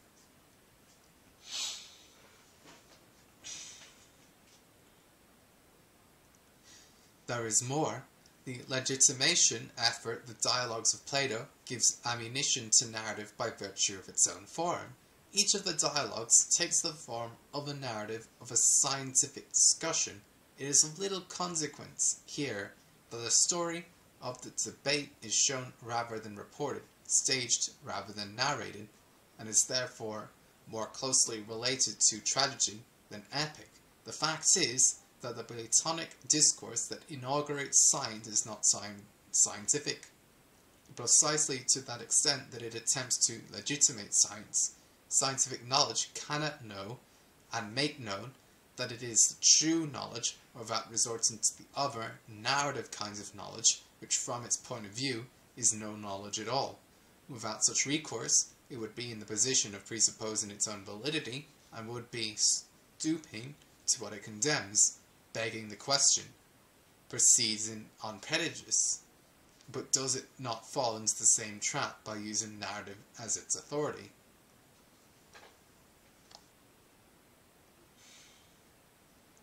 this is not the place to chart the recurrence of a narrative in the scientific by way of the latter's discourses of legitimation, which include, but are not limited to, the great ancient, medieval, and classical philosophers, endless torment. As resolute as a philosophy as that of Descartes can only demonstrate the legitimacy of science through what Valery called the story of a mind, or else in a Bildungsroman, which is what the discourse and method amounts to. Aristotle was doubtless one of the most modern of all, in separating the rules to which statements declared scientific must conform, the organon, from the search for legitimacy in a discourse on being, the metaphysics. Even more modern was the suggestion that scientific knowledge, including, its pretension to express the being of the referent is composed only of arguments and proofs, in other words, of dialectics. With modern knowledge, two new features appear in the problematic of legitimation. To begin with, it leaves behind the metaphysical search for a first proof or transcend transcendental authority as a response to the question, how do you prove the proof? Or more generally, who decides the conditions of truth. It is recognized that the conditions of truth, in other words, the rules of the game of science, are immanent in that game, that they can only be established within the bound bonds of a debate that is already scientific in nature, that there is no other proof that the rules are good than the consent is extended to them by the experts. Accompanying the modern proclivity to define the conditions of a discourse in a discourse on those conditions is a renewed dignity for narrative popular cultures already noticeable in Renaissance humanism and variously present in the Enlightenment, the Sturm und Drang, German idealist philosophy, and the historical school in France. Narration is no longer an involuntary lapse in the legitimation process, the explicit appeal to narrative in the problematic of knowledge is concomitant with the liberation of the bourgeois classes from the traditional authorities. Narrative knowledge makes a resurgence in the West as a way of solving the problem of legitimating the new authorities. It is natural in a narrative problematic for such a question to solicit the name of a hero as its response. Who has the right to decide for society? Who is the subject whose prescriptions are norms for those they obligate. This way of inquiring into socio-political legitimacy combines with the new scientific attitude. The name of the hero is the people, the sign of legitimacy is the people's consensus, and their mode of creating norms is deliberation. The notion of progress is a necessary outgrowth of this. It represents nothing other than the movement by which knowledge is presumed to accumulate, but this movement is extended to the new socio-political subject the people debate among themselves about what is just or unjust in the same way that the scientific community debates about what is true or false, they accumulate civil laws just as scientists accumulate scientific laws. They perfect the rules of consensus just as the scientists produce new paradigms to revise their rules in light of what they have learned. It is clear that what is meant here by the people is entirely different from what is implied by traditional narrative knowledge, which, as we have seen, requires to institution instituting deliberation, no cumulative progression, no pretension to universality. These are the operators of scientific knowledge. It is therefore not at all surprising that the representatives of the new process of legitimation by the people should be at the same time actively involved in storing the traditional knowledge of peoples proceeds from the point from that point forward as minorities or potential separatist movements destined only to spread obscurantism. We can see too that the real existence of this necessarily abstract subject is abstract because it is uniquely modeled on the paradigm of the subject of knowledge, that is, one who sends receives denotative statements with truth value to the exclusion of other language games depends on the institutions within which that subject is supposed to deliberate and decide, which comprise all or part of the state. The question of the state become in, becomes intimately entwined with that of scientific knowledge. But it's also clear that this interlocking is many-sided. The people, the nation, or even humanity and especially the political institutions, are not content to know. They legislate. That is, they formulate prescriptions that have the status of norms. They, therefore, exercise their competence not only with respect to denotative utterances concerning what is true, but also prescriptive utterances with pretensions to justice. As already said, what characterizes a narrative knowledge what forms the basis of our conception of it, precisely that it combines both of these kinds of competence, not to mention all the others. The modes of legitimation we are discussing, which reintroduces narrative as the validity of knowledge, can thus take two routes. Depending on whether it represents the subject of the narrative as cognitive or practical, as a hero of knowledge or a hero of liberty, because of this alternative, not only does the meaning of legitimation vary, but it is already apparent that the narrative itself is incapable of describing that meaning adequately.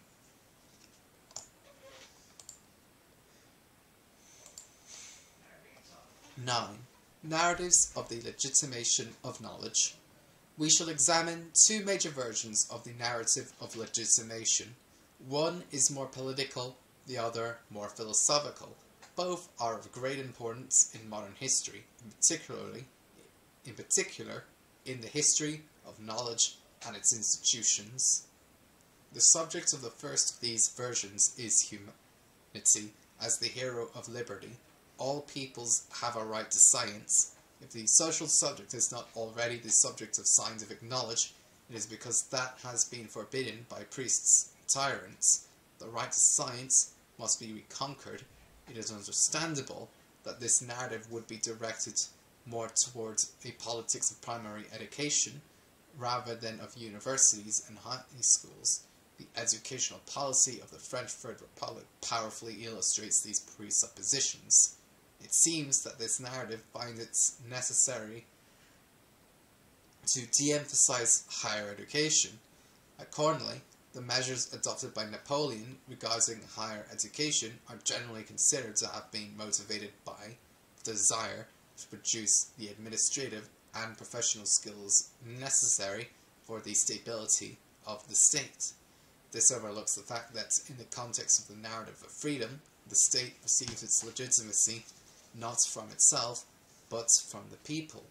So even if imperial po politics designated the institutions of higher education as a breeding grounds for the offices of the state and secondarily for the managers of civil society, it did so because the nation as a whole was supposed to win its freedom through the spread of new domains of knowledge to the population, a process to be effected through agencies and professions within those cadres would fulfill their functions. The same reasoning is a fortiori valid for the foundation of properly scientific institutions. The state resorts to the narrative of freedom every time it assumes direct control over the training of the people under the name of the nation in order to point them down the path of progress.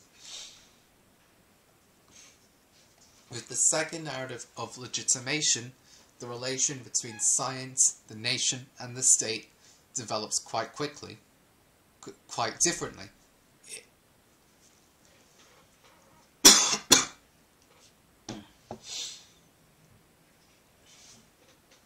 It first appears with the founding between 1807 and 1810 of the University of Berlin, whose influence on the organization of higher education in the young countries of the world was to be considerable in the 19th and 20th centuries.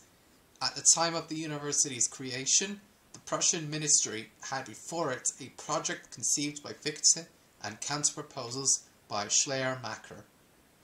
Wilhelm von Humboldt had to decide the matter and came down on the side of Schleiermacher's more liberal option. Reading Humboldt's report, one may be tempted to reduce his entire approach to the politics of the scientific institution to the famous dictum, science for its own sake. But this would be too, mis too misunderstood the ultimate aim of his policies, which is guided by the principle of legitimation we're discussing and is very close to the one Schleiermacher elucidates in a more thorough fashion. Humboldt does not does indeed declare that science obeys its own rules, that the scientific institution lives and continually renews itself on its own, with no constraint or determined goal whatsoever. But he adds that the university should orient its constituent element, science, to the spiritual and moral training of the nation. How can this Bildung effect result from the disinterested pursuit of learning? Are not the state, the nation, the whole of humanity, indifferent to knowledge for its own sake? What interests them, as Humboldt admits, is not learning, but character and action. The minister's advisor thus faces a major conflict in some ways reminiscent of the split introduced by the Kantian critique between knowing and willing, it is a conflict between a language game made of denotations, answerable only to the criterion of truth, and a language game governing ethical, social, and political practice that necessarily involves decisions and obligations. In other words, utterances expected to be just rather than true, which in the final analysis lies outside the realm of scientific knowledge. However, the unification of these two sets of discourse is indispensable to the Bildung aimed for by Humboldt's project, which consists not only in the acquisition of learning by individuals, but also in the training of a fully legitimated subject of knowledge in society. Humboldt therefore invokes a spirit, what Fichte calls life, animated by three ambitions, or better, by a th single threefold aspiration, that of deriving everything from an original principle, corresponding to scientific activity, that of relating everything to an ideal, governing ethical and social practice, and that of unifying this principle and this ideal in a single idea, ensuring that the scientific search for true causes always coincides with the pursuit of just ends in moral and political life. This ultimate synthesis constitutes the legitimate subject. Humboldt adds in passing that this true triple aspiration naturally inheres in the intellectual character of the German nation. This is a concession, but a discreet one, to the other narrative, to the idea that the subject of knowledge is the people. But in truth, this idea is quite distant from the narrative of the legitimation of knowledge advanced by German idealism. There's a suspicion that men like Schleiermacher, Humboldt, and even Hegel harbor towards the state is an indication of this. If Schleiermacher fears the narrow nationalism, protectionism, utilitarianism, and positivism that guide the public authorities in matters of science, it is because the principle of science does not reside in those authorities, even indirectly. The subject of knowledge is not the people, but the speculative spirit. It is not embodied, as in France after the revolution, in a state, but in a system. This language game of legitimation is not state political, but philosophical. The great function to be fulfilled by the universities is to lay upon the whole body of learning and expound both the principles and the foundations of all knowledge. For there is no creative scientific capacity without the speculative spirit. Speculation is here the name given the discourse on the legitimation of scientific discourse. Schools are functional. The university is speculative, that is to say, philosophical. Philosophy must restore unity to learning, which has been scattered into separate pieces, eh, separate sciences in laboratories and in pre-university education. It can only achieve this in a language game that links the sciences together as moments in the becoming of spirit, in other words, which links them in an, a rational narration, or rather meta-narration. Hegel's Encyclopedia, 1817-27, attempts to, re to realize this project of, tota of totalization, which is already present in Fichte and Schelling in the form of the idea of the system. It is here, in the mechanism of developing a life that is simultaneously subject, that we see a return of narrative knowledge. There is a universal history of spirit. Spirit is life, and life is its own self-presentation and formulation, in the ordered knowledge of all of its forms, contained in the empirical sciences. The Encyclopedia of German Idealism is the narration of the history of this life subject. What it produces is a meta-narrative, for the story's narrator must not be a people mired in the particular productivity of its traditional knowledge, not even scientists taken as a whole, since they are sequestered in professional frameworks corresponding to their respective specialties. The narrator must be a meta subject in the process of formulating both the legitimacy of the discourses of the empirical sciences and that of the direct institutions of popular cultures. This meta subject, in giving voice to their common grounding, realizes their implicit goal. It inhabits the speculative university, positive science, and the people are only crude versions of it. The only valid way for the nation state itself to bring the people to expression is through the mediation of speculative knowledge. It has been necessary to elucidate the philosophy that legitimated the foundation of the University of Berlin and was meant to be the motor both of its development and the development of contemporary knowledge. As I have said, many countries in the 19th and 20th centuries adopted this university organization as a model for the foundation or reform of their own system of higher education, beginning with the United States. But, all, but above all, this philosophy, which is far from dead, especially in university circles, offers a particularly vivid representation of one solution to the problem of the legitimacy of knowledge.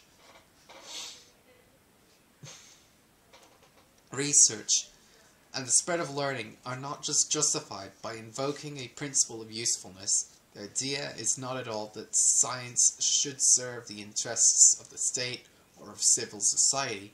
The humanist principle that humanity rises up in dignity and freedom through knowledge is left by the wayside. German idealism has recourse to a meta principle that simultaneously grounds the development of learning, of society, and of the state in the realization of the life of a subject called Divine Life by Fichte and Life of the Spirit by Hegel. In this perspective, knowledge first finds legitimacy within itself, and it is knowledge that is entitled to say that, that what the states and what society are, but it can only play this role by changing levels, by ceasing to be by ceasing to be simply the positive knowledge of its reference, nature, society, the state, becoming in addition to that the knowledge of the knowledge of the reference. That is, by becoming speculative in the names life and spirit, knowledge names itself.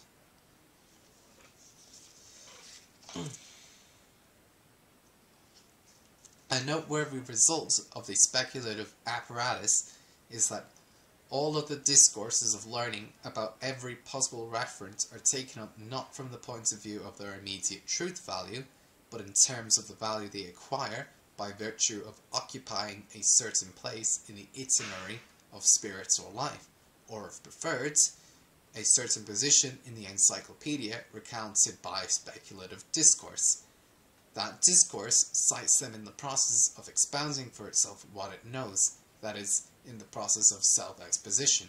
True knowledge, in this perspective, is always indirect knowledge. It is composed of reported statements that are incorporated into the meta-narrative of a subject that guarantees their legitimacy. The same thing applies for every variety of discourse, even if it is not a discourse of learning. Examples are the discourse of law and that of the state. Contemporary hermeneutic discourse is born of this presupposition, which guarantees that there is meaning to know and thus confers legitimacy upon history, and especially the history of learning. Statements are treated as their own autonyms and set in motion in a way that is supposed to render them mutually engendering. These are the rules of speculative language. The university, as its name indicates, is its exclusive institution. But as I have said, the problem of legitimacy can be solved using the other procedures as well. The difference between them should be kept in mind. Today, the status of knowledge unbalanced and speculative unity broken. The first version of legitimacy is gaining new vigor. According to this version, knowledge finds its validity not within itself, not in a subject that develops by actualizing its learning possibilities, but in a practical subject, humanity. The principle of the movement animating the people is not the self-legitimation of knowledge, but the self-grounding of freedom, or if preferred, its self-management. This subject is concrete, or supposedly so, and its epic is the story of its emancipation from everything that prevents it from governing itself.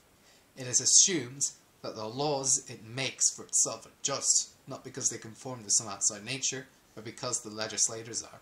Constitutionally, the very citizens who are subject to the laws.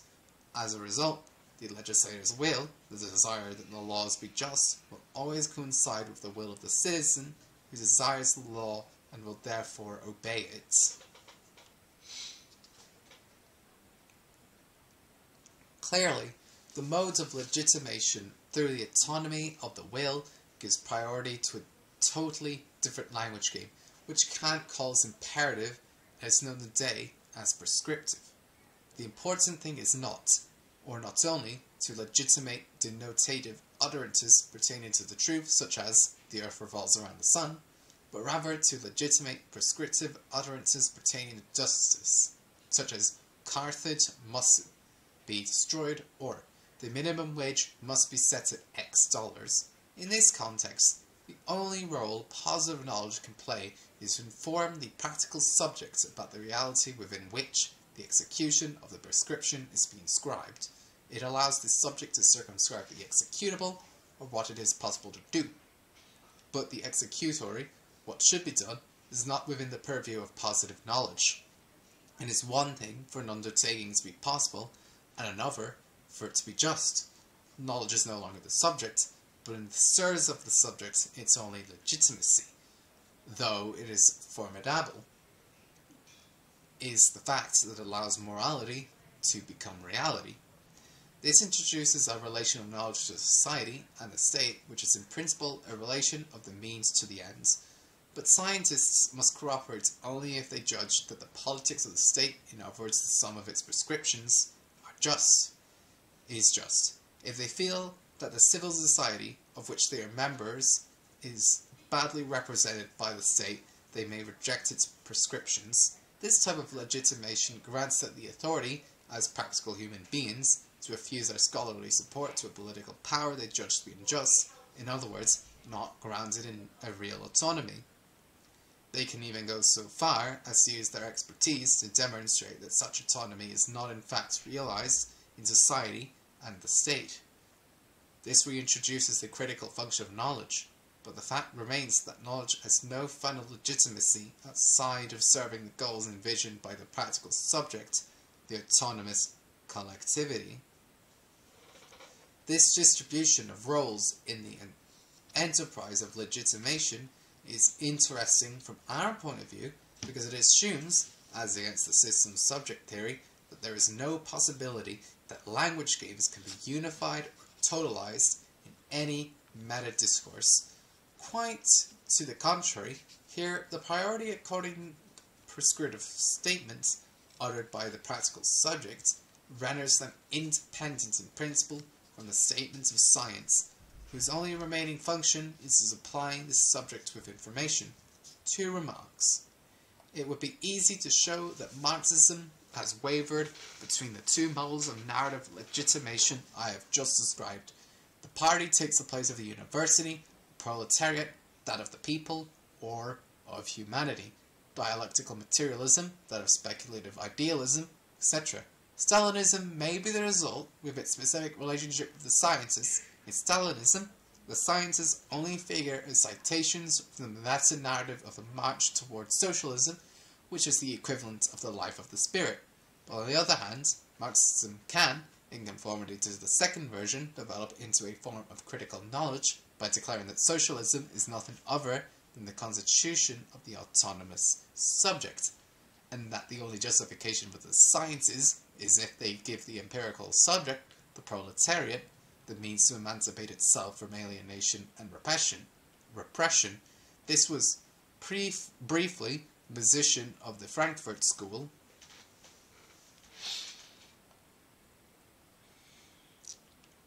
The speech Heidegger, the speech Heidegger gave on May the 27th, 1933, on becoming rector of the University of Freiburg in Breisgau can be read as an unfortunate episode in the history of legitimation. Here, speculative science has become the questioning of being. This questioning is the destiny of the German people, dubbed an historico-spiritual people. To this subjects are owed the free services of labour, defence, and knowledge.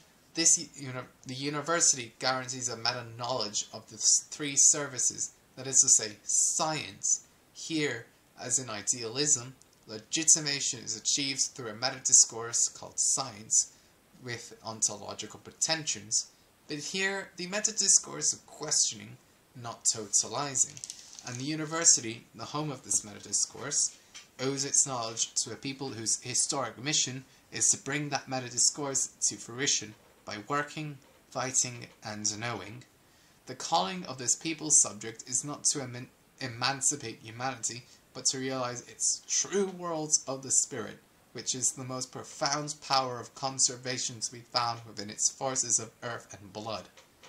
This insertion of the narrative of race and work into that of the spirit as way of legitimating knowledge and its institutions is doubly unfortunate, theoretically inconsistent, it was compelling enough to find disastrous echoes in the realm of politics. 10. Delegitimation. In contemporary society and culture, post-industrial society, postmodern culture, the question of the legitimation of knowledge is formulated in different terms. The grand narrative has lost its credibility, regardless of what mode of unification it uses, regardless of whether it's a speculative narrative or a narrative of, um, of emancipation. The decline of narrative can be seen as an effect, as an effect of the blossoming of techniques and technologies since the Second World War, which has shifted emphasis from the ends of action to its means. It can also be seen as an effect of the redeployment of advanced liberal capitalism after its retreat in, under the protection of Keynesianism during the period of 1930 to 60, a renewal that has legitimate that has eliminated the communist alternative and valorized the individual enjoyment of goods and services. Anytime we go searching for causes in this way, we are bound to be disappointed. Even if we adopted one or the other of these hypotheses, we would still have to detail the correlation between the tendencies mentioned and the decline of the unifying and legitimating power of the grand narratives of speculation and emancipation. It is of course understandable that both capitalist renewal and prosperity and the disorienting upsurge of technology would have an impact on the status of knowledge. In order to understand how contemporary science could have been susceptible to those effects long before they took place, we must first locate the seeds of delegitimation and nihilism that were inherent in the grand narratives of the 19th century. First of all, the speculative apparatus maintains an ambiguous relation to knowledge. It shows that knowledge is only worthy of that name to the extent that it reduplicates itself, lifts itself up, is sublated, by citing its own statements in a second level discourse, autonomy, autonomy that the functions to legitimate them. This is as much as to say that in its immediacy, denotative discourse bearing on a certain referent, a living organism, a chemical property, a physical phenomenon, phenomenon, does not really know what it thinks it knows. Positive science is not a form of knowledge, and speculation feeds on its suppression. The Hegelian speculative narrative thus harbors a certain skepticism toward positive learning, as Hegel himself admits. A science that is not legitimated itself is not a true science. If the discourse that was meant to legitimate it seems to belong to a pre-scientific form of knowledge, like a vulgar narrative, it is demoted to the lowest rank, that of an ideology or instrument of power. And this always happens if the rules of the science game that discourse denounces as empirical are applied to science itself. Take, for example, the speculative statement. A scientific statement is knowledge if and only if it can take its place in a universal process of engendering. The question is, is this statement knowledge as it itself defines it? Only if it can take its place in a universal process of engendering, engendering, which it can, all it has to do is to presuppose that such a process exists, a life of spirit, and that it is itself an expression of that process. This presupposition, in fact, is indispensable to the speculative language game. Without it, the language of legitimation would not be legitimate. It would accompany science in a nosedive into nonsense, at least if we take idealism's word for it. But this presupposition can also be understood in a totally different sense, one which takes us in the direction of postmodern culture. We could say, in keeping with the perspective we adopted earlier, that this presupposition defines the set of rules one must accept in order to play the speculative game. Such an appraisal assumes first that we accept that the positive sciences represent the general mode of knowledge, second, that we understand this language to imply certain formal and axiomatic presuppositions that it must always make explicit. This is exactly what Nietzsche is doing, th though with a different terminology, which he, when he shows that European nihilism resulted from the truth requirements of science being turned back against itself. There thus arises an idea of perspective that is not far removed, at least in this respect, from the idea of language games. What we have here is a process of delegitimation fueled by the, the, the demands for legitimation itself. The crisis of scientific knowledge, signs of which have been accumulating since the end of the 19th century, is not born of a chance proliferation of science itself, an effect of progress in technology and the expansion of capitalism. It represents rather an internal erosion of the legitimacy principle of knowledge. There is erosion at work inside the speculative game, and by loosening the weave of the encyclopedic net in which each science was find its place, it eventually sets them free. The classical dividing lines between the various fields of science are thus called into question. Disciplines disappear, overlappings occur at the borders between sciences, and from these new territories are born. The speculative hierarchy of learning gives way to an immanent and as it were flat network of areas of inquiry, the respective frontiers of which are in constant flux. The old faculties splinter into institutes and foundations of all kinds, and the universities lose their function of speculative legitimation, stripped of the responsibility for research, which was stifled by their speculative narrative, they limit themselves to the transmission of what is judged to be established knowledge, and through didactics they guarantee the replication of teachers rather than the production of researchers. This is the state in which Nietzsche finds and condemns them. The potential for erosion intrinsic to the overt legitimation process, the, the overt legitimation procedure, the emancipation apparatus flowing from the Aufklärung is no less extensive than the one at work with spec within speculative discourse, but it touches a different aspect its distinguishing characteristic is that it grounds the legitimation of science and truth in the autonomy of interlocutors involved in ethical, social, and political praxis. As we have seen, there are immediate problems with this form of legitimation. The difference between a denotative statement with a cognitive value and a prescriptive statement with practical value is one of relevance. Therefore, of competence. There is nothing to prove that if a statement describing a real situation is true, it follows that a prescriptive statement based upon it, the effects of which will necessarily be a modification of that reality, will be just. Take, for example, a closed door. Between the door is closed and open the door, there is no relation of consequence as defined in propositional logic. The two statements belong to two autonomous sets of rules, defining different kinds of relevance, and therefore of competence.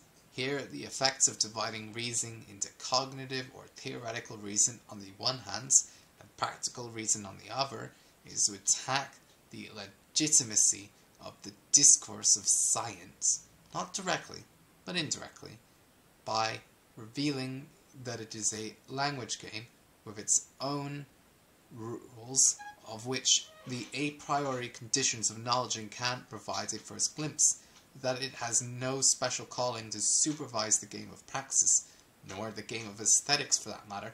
The game of science thus puts on a par with the others. If this delegitimation is pursued in the slightest, and if its scope is widened as Wittgenstein, Wittgenstein does in his own way, and thinkers such as Martin Buber and Emmanuel Levinas in theirs, the road is then open for an important current of postmodernity. Science plays its own game. It is incapable of legitimating the other language games. The game of prescription for example, escapes it, but above all, it is incapable of legitimating itself, as speculation assumed it could. The social subject itself seems to dissolve in the dissemination of language games. The social bond is linguistic, but it is not woven with a single thread.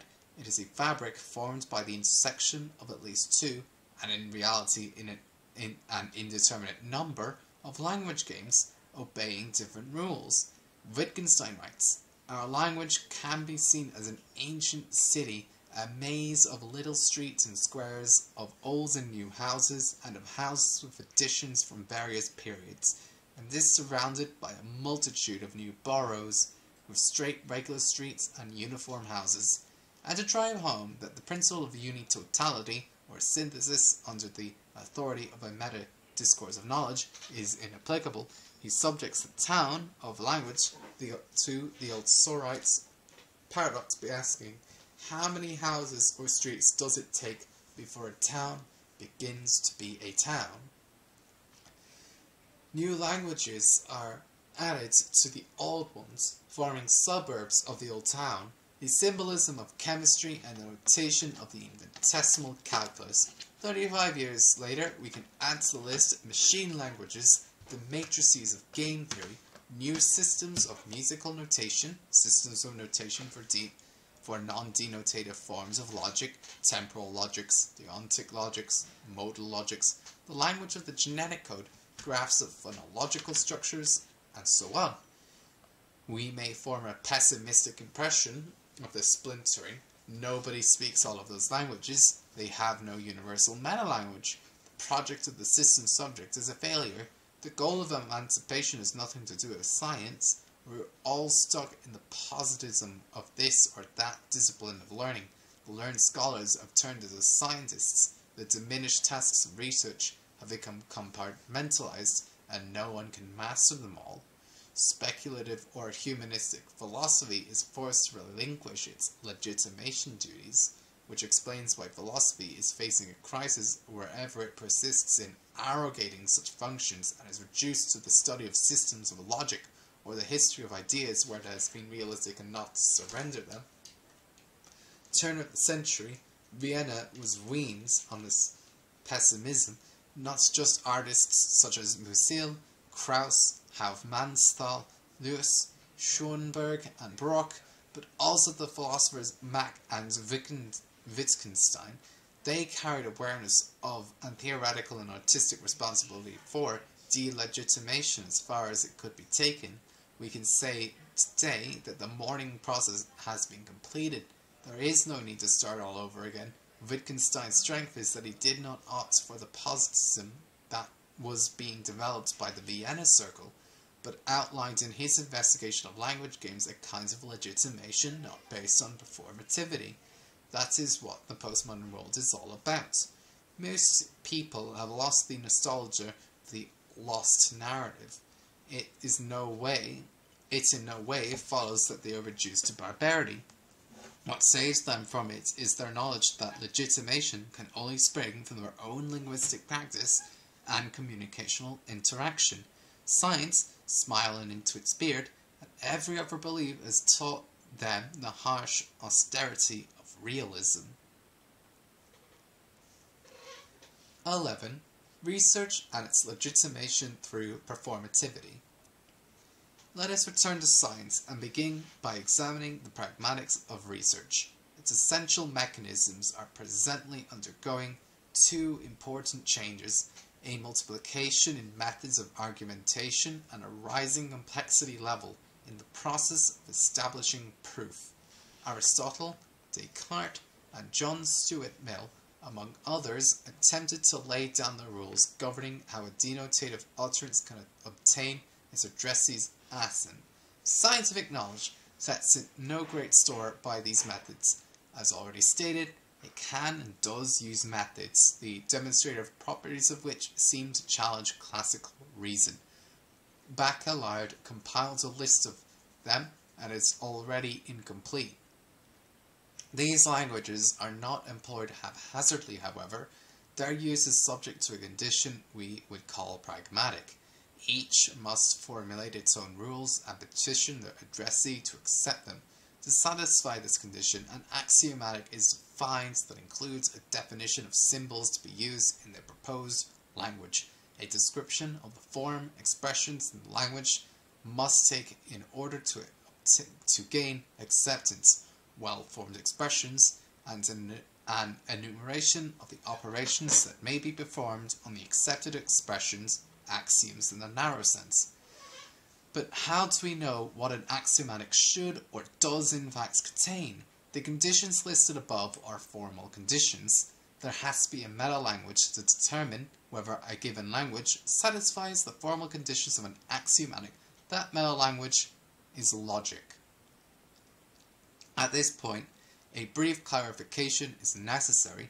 The alternative between someone who begins by establishing an axiomatic and then uses it to produce what are defined as acceptable statements, and a scientist who begins by establishing and stating facts and then tries to discover the axiomatics of the language he uses in making his statements is not a logical alternative, but only an empirical one.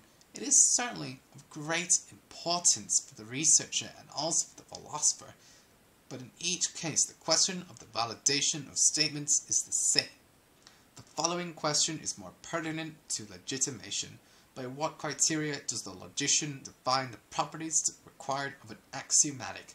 Is there a model for scientific languages? If so, is there just one? Is it verifiable?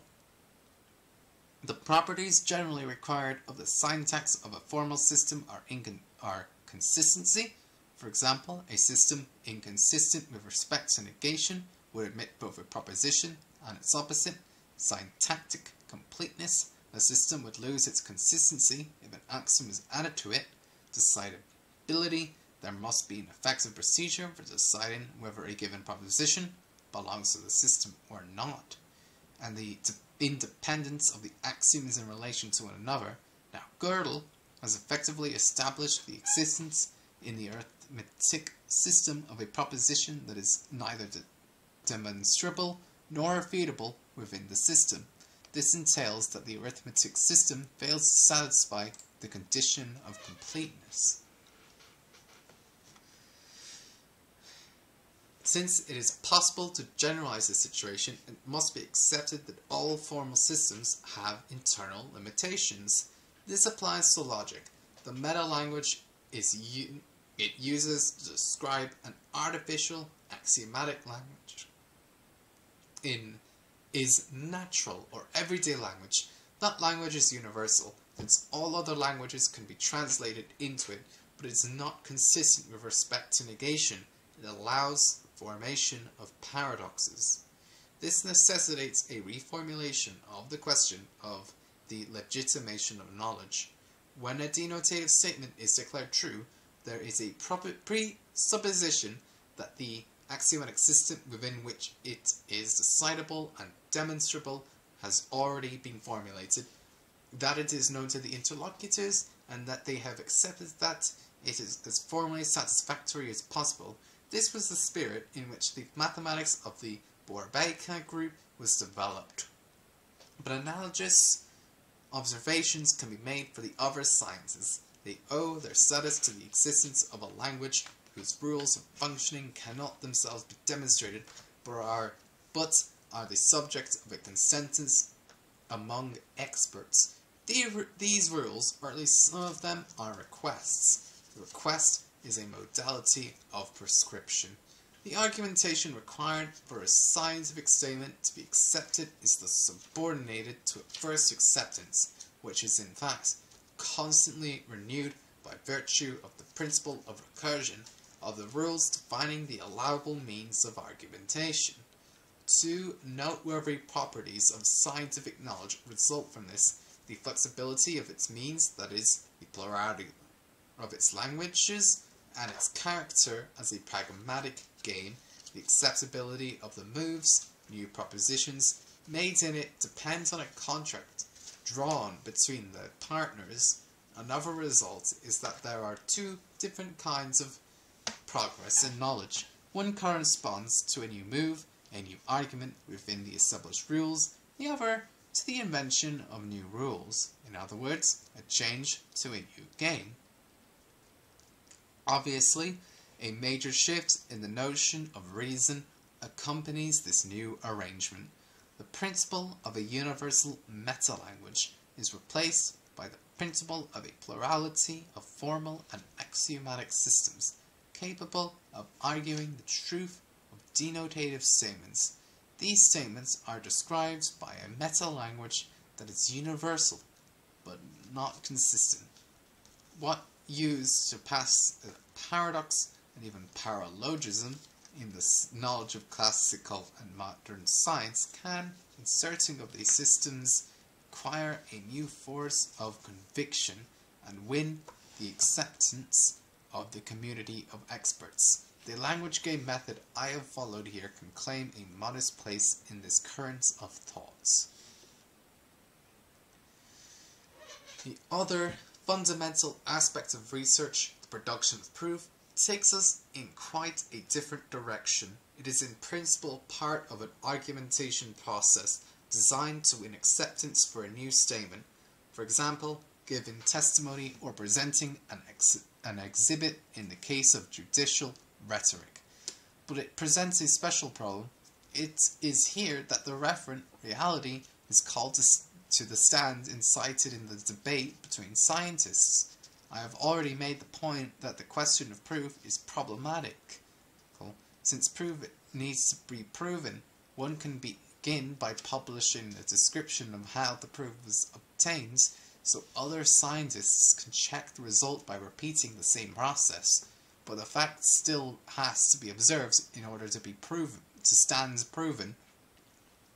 What constitutes a scientific observation? a fact that it's been registered by an eye, an ear, a sense organ, as senses are deceptive and their range and powers of discrimination are limited. This is where technology comes in. Technical devices originated as prosthetic aids for the human organs or its physiological systems whose function is to receive data or condition the context.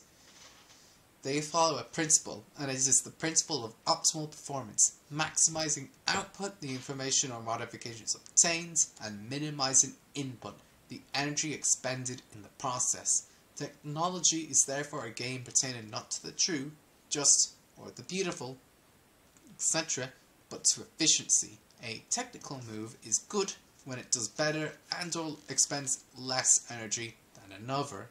This definition of technical competence is a late development. For a long time, inventions came in fits and starts, the products of chance research or research as much or more concerned with the arts, techne, than with knowledge. The Greeks of the classical period, for example, established no closer relationship between knowledge and technology. In the 16th and 17th centuries, the work of Perspectus was still a matter of curiosity and artistic innovation.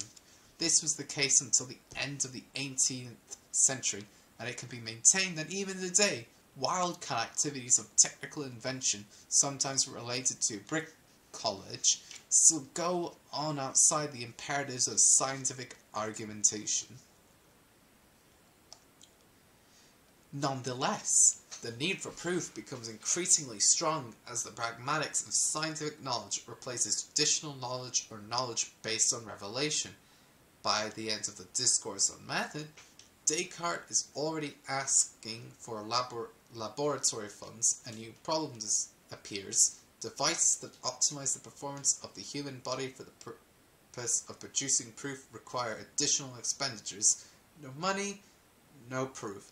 That means no verification of statements and no truth.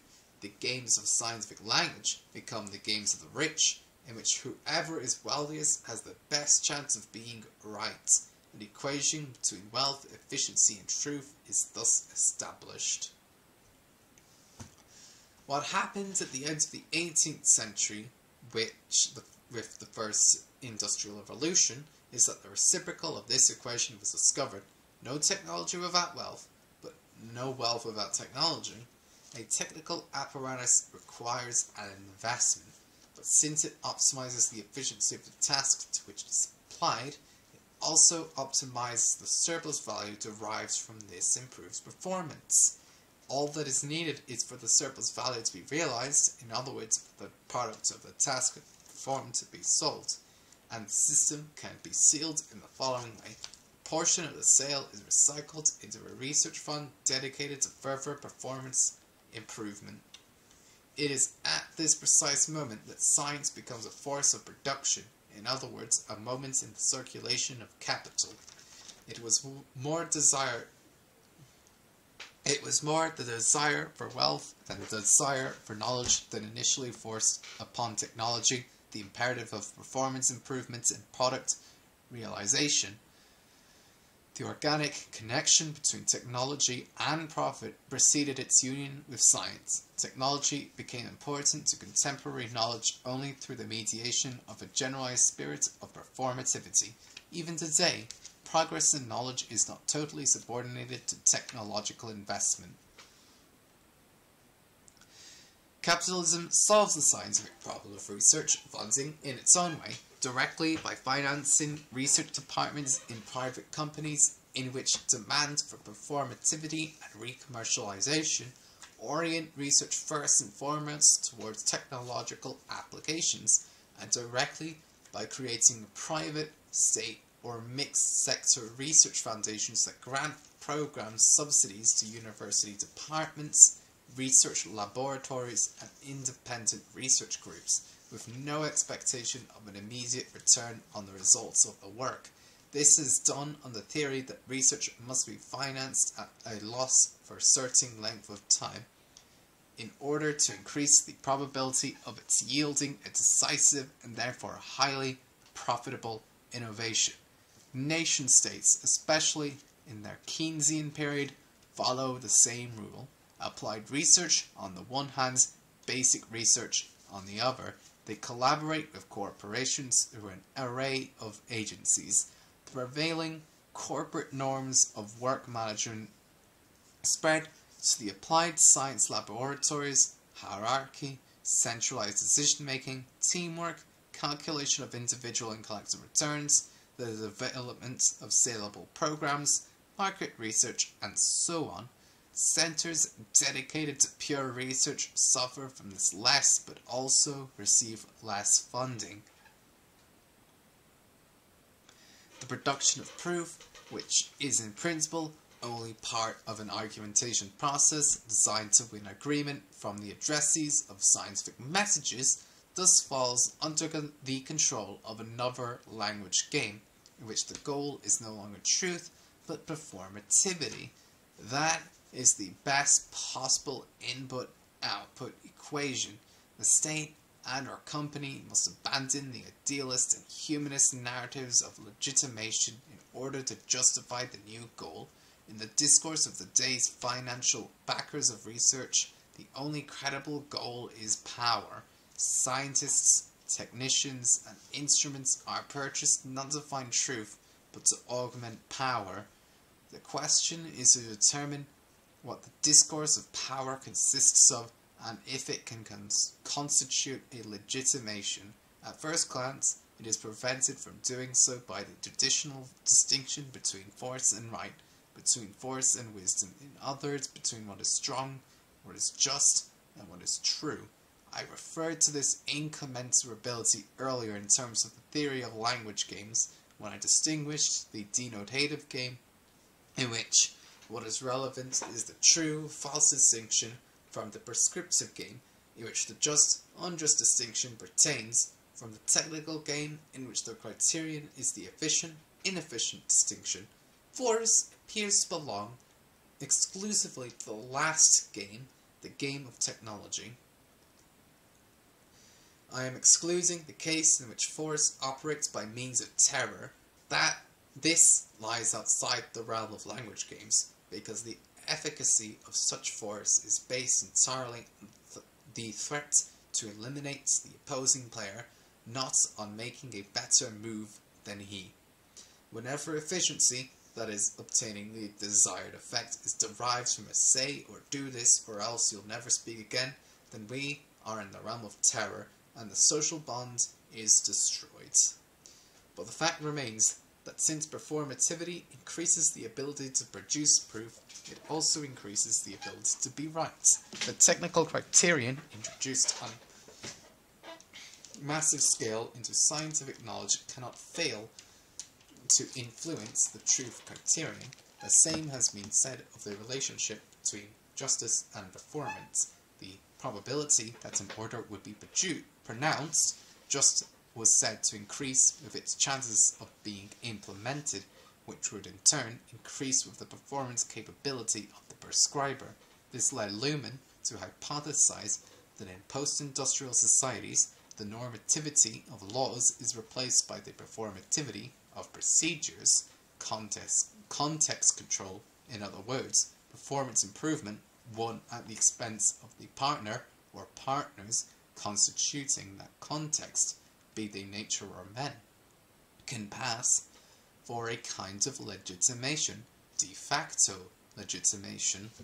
This procedure operates within the following framework, since reality is what provides the evidence used as proof in scientific argumentation and also provides prescriptions and promises of a juridical, ethical, and political nature with results. One can master all of these games by mastering reality. That is precisely what technology can do. By reinforcing technology, one reinforces reality, and one's chances of being just and right increase accordingly. Reciprocally, technology is reinforced all the more effectively if one has access to scientific knowledge and decision-making authority. This is how legitimation by power takes shape. Power is not only good performativity, but also effective verification and good verdicts. It legitimates science and the law on the basis of their efficiency, and legitimates this efficiency on the basis of science, of, of science and law. It is self-legitimating in the same way a system organized around performance maximization seems to be. Now, it is precisely this kind of context control that a generalized computerization of society may bring. The performativity of an utterance, be it denotative or prescriptive, increases proportionally to the amount of information about its reference one has at one's disposal. Thus, the growth of power and its self-legitimation are now taking the route of data storage and accessibility and the operativity of information.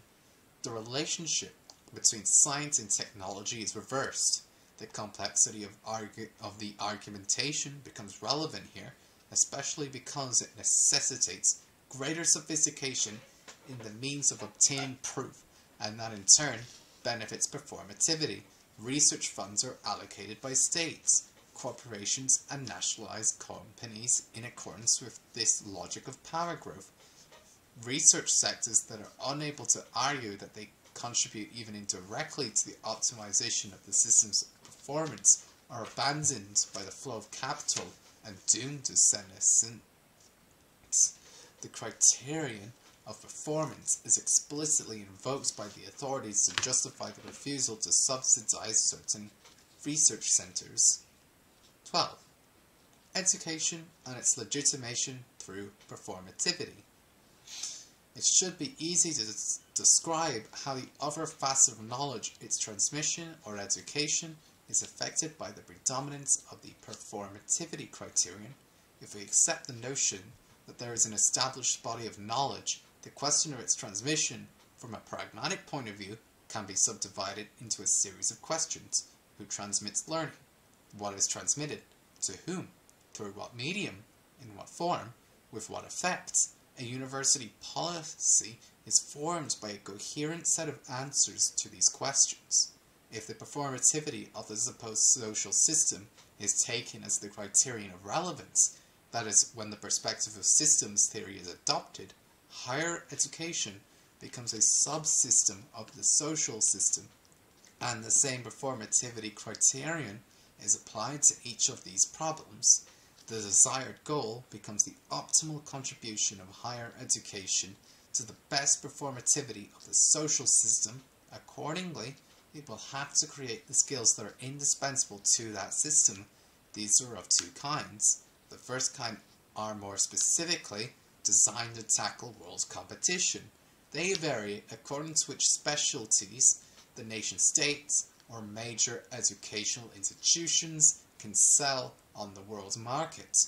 If our general hypothesis is correct, there will be a growth in demand for experts in high and middle management executives in the leading sectors mentioned at the beginning of this study, which is where the action will be in the years to come. Any discipline with applicability to training in telematics, computer scientists, cyberneticists, linguists, mathematicians, magicians, will most likely receive priority in education, all the more so since an increase in the number of these experts should speed the research in other learning sectors, as has been the case with medicine and biology. Secondly, and still within the same general hypothesis, higher learning will have to continue to supply the social system within with the skills fulfilling society's own needs, which center on maintaining its internal cohesion. Previously, this task entailed the formation and dissemination of a general model of life, most often legitimated by the emancipation narrative. In the context of delegitimation, universities and the institutions of higher learning are called upon to create skills and no longer ideals. So many doctors, so many teachers in a given discipline, so many engineers, so many administrators, etc. The transmission of knowledge is no longer designed to train an elite capable of guiding the nation towards its emancipation, but to supply the system with players capable of acceptably fulfilling the roles and the pragmatic posts required by its institutions. If the ends of higher learning are functional, what of its addressees? The student has changed already and will certainly change more. He is no longer a youth from the liberal elite, more or less concerned with the great task of social pro progress, understood in terms of emancipation. In this sense, the democratic university, no entrance requirements, little cost to the student and even to society if the price per student is calculated, high enrollment, which is modelled along the principles of emancipationist humanism, today seems to offer little in the way of performance. Higher education is in fact already undergoing a major realignment, dictated both by administrative measures and by social demands, themselves rather uncontrolled, emanating from the new users. The tendency is to divide the functions of higher learning into two broad categories of services. In its function of professional training, higher education still addresses itself to the young of the liberal elite, to whom it transmits the competence judged necessary by each profession. They are joined through one route or another, for example, institutes of technology, all of which, however, conform to the same didactic model by the addressees of the new domains of knowledge, linked to the new techniques and technologies. They are, once again, young people who have yet to become active. Aside from these two categories of students who reproduce the professional intelligentsia and the technical intelligentsia, the remainder of the young people present in the universities are for the most part unemployed who are not counted as job seekers in these statistics that the outnumber the openings in their disciplines arts and human sciences. Despite their age, they do in fact belong to the new category of the addressees of knowledge. For in addition to its professionalist function, the university is beginning, or should begin, to play a new role in improving the system's performance, that of job retraining and continuing education. Outside the universities, departments or institutions with a professional orientation, knowledge will no longer be transmitted en bloc, once and for all, to young people before their entry into the workforce. Rather, it is and will be served à la carte to adults who are either already working or expect to be for the purpose of improving their skills and chances of promotion, but also to help them acquire information, languages, and language games, allowing them both to widen their occupational horizons and to articulate their technical and ethical experience. The new course that the transmission of knowledge is taking is not without conflict, as much as it is in the interests of the system and therefore of its decision makers to encourage professional advancement, since it can only improve the performance of the whole, any experimentation in discourse, institutions, and values with the inevitable, inevitable disorders it brings in the curriculum, student supervision and testing, and pedagogy, not to mention its socio-political repercussions, is regarded as having little or no operational value and is not given the slightest credence in the same in the name of the seriousness of the system.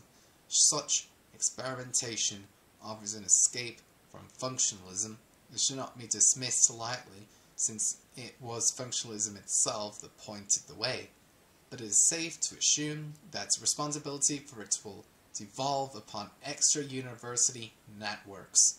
In any case, even if the performativity principle does not always help pinpoint the policy to follow, its general effect is to subordinate the institutions of higher learning to the existing powers. The moment knowledge ceases to be an end in itself, the realization of the idea or the emancipation of men, its transmission is no longer the exclusive responsibility of scholars and students.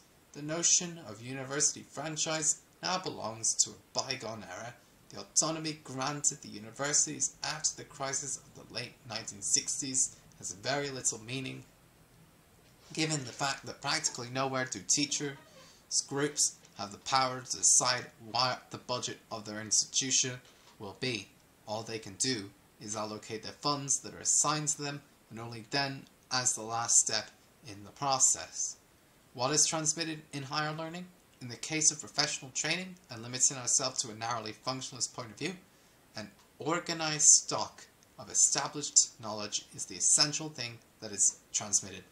The application of new technologies to this stock may have a considerable impact on the medium of communication. It does not seem ne absolutely necessary that the medium be a lecture delivered in person by a teacher in front of science students with questions reserved for sections or practical work sessions run by an assistant. To the extent that learning is translatable into computer language and that the traditional teacher is replaceable by memory banks, didactics can be entrusted to machines linked, linking traditional memory banks, libraries, etc., and computer data banks to intelligent terminals placed at the student's disposal.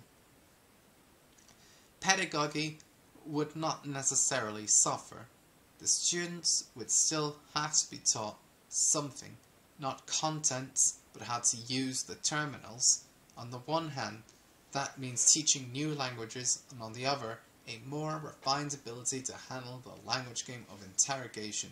Where should the question be addressed? In other words, what is the relevant memory bank for what needs to be known? How should the question be formulated to avoid misunderstandings, etc.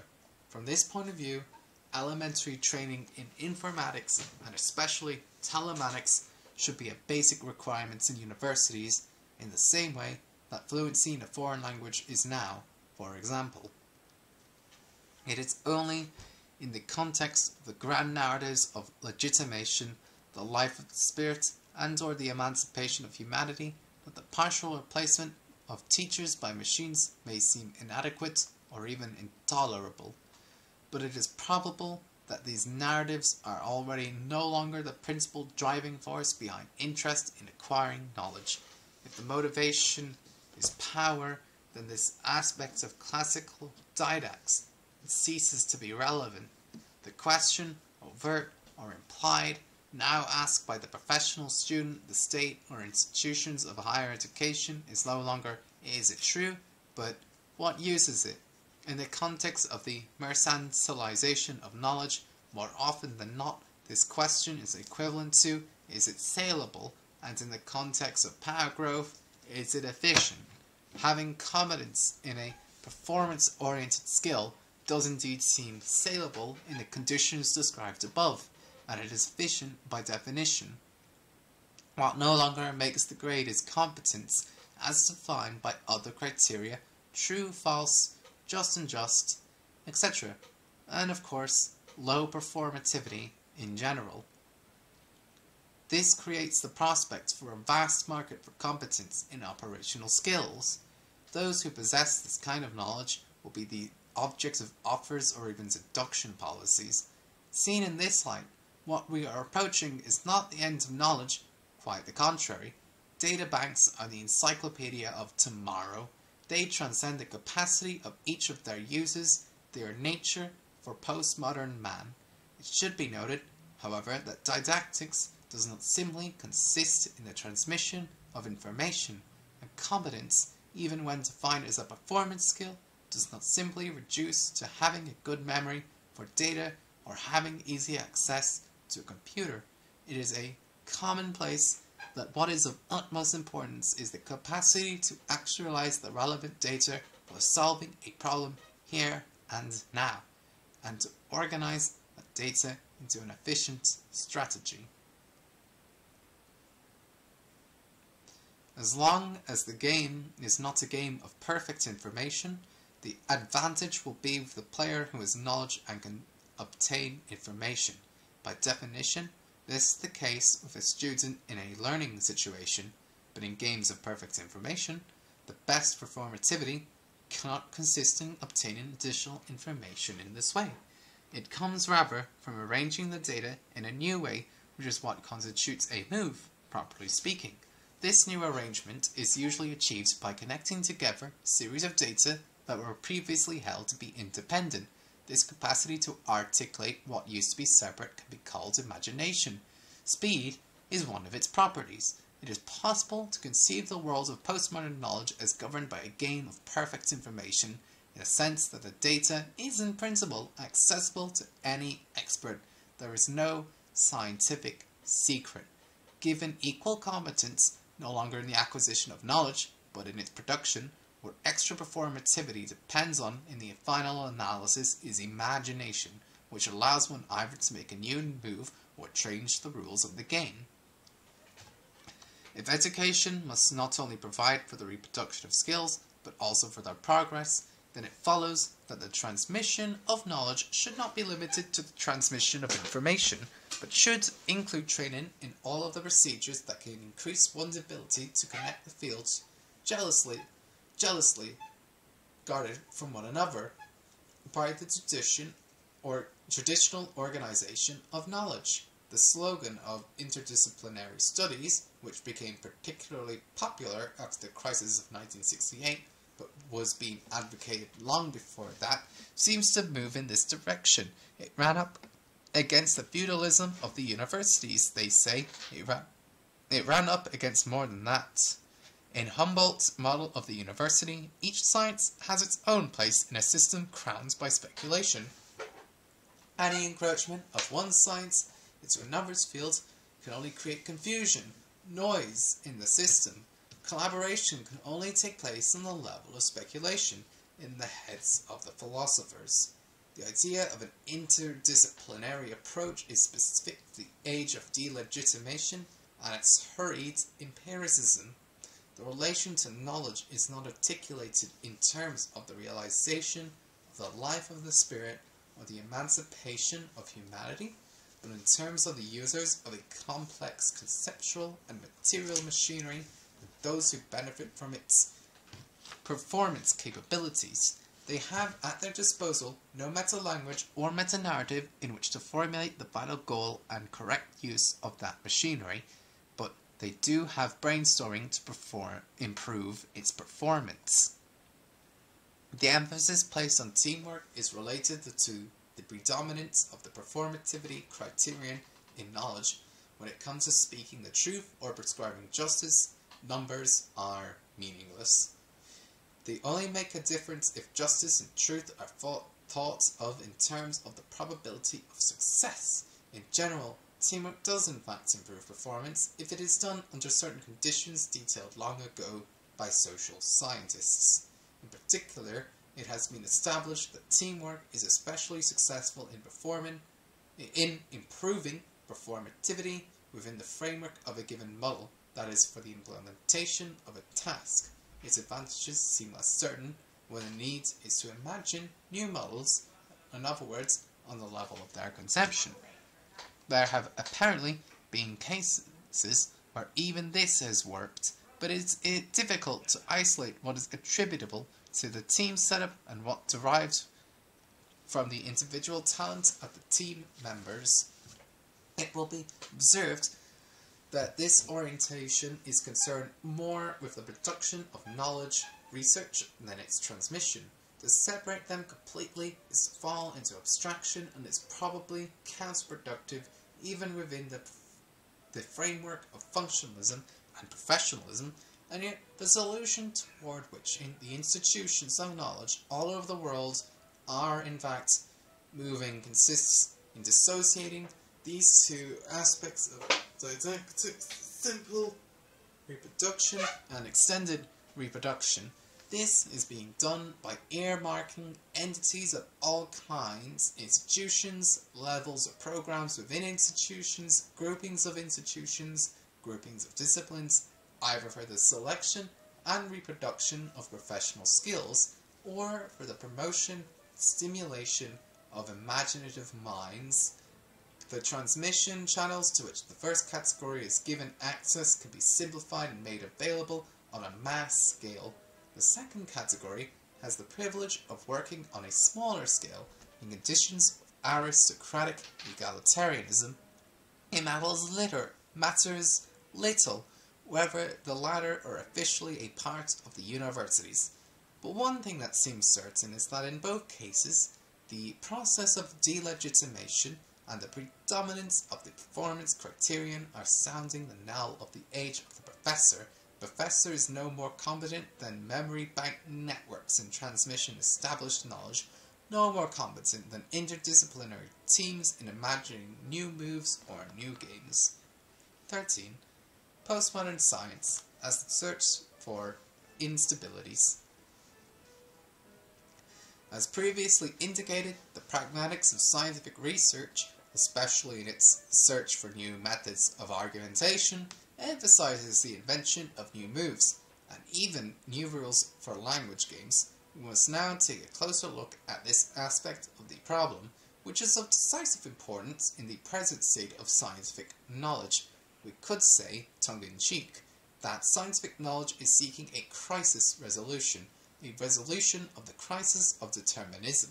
Determinism is the hypothesis upon which a legitimation by performativity is based. Since performativity is defined by an input-output ratio, there is a presupposition that the system into which the input is entered is stable, that system must follow a regular path, that it is possible to express as a continuous function possessing a derivative, so that an accurate prediction of the output can be made.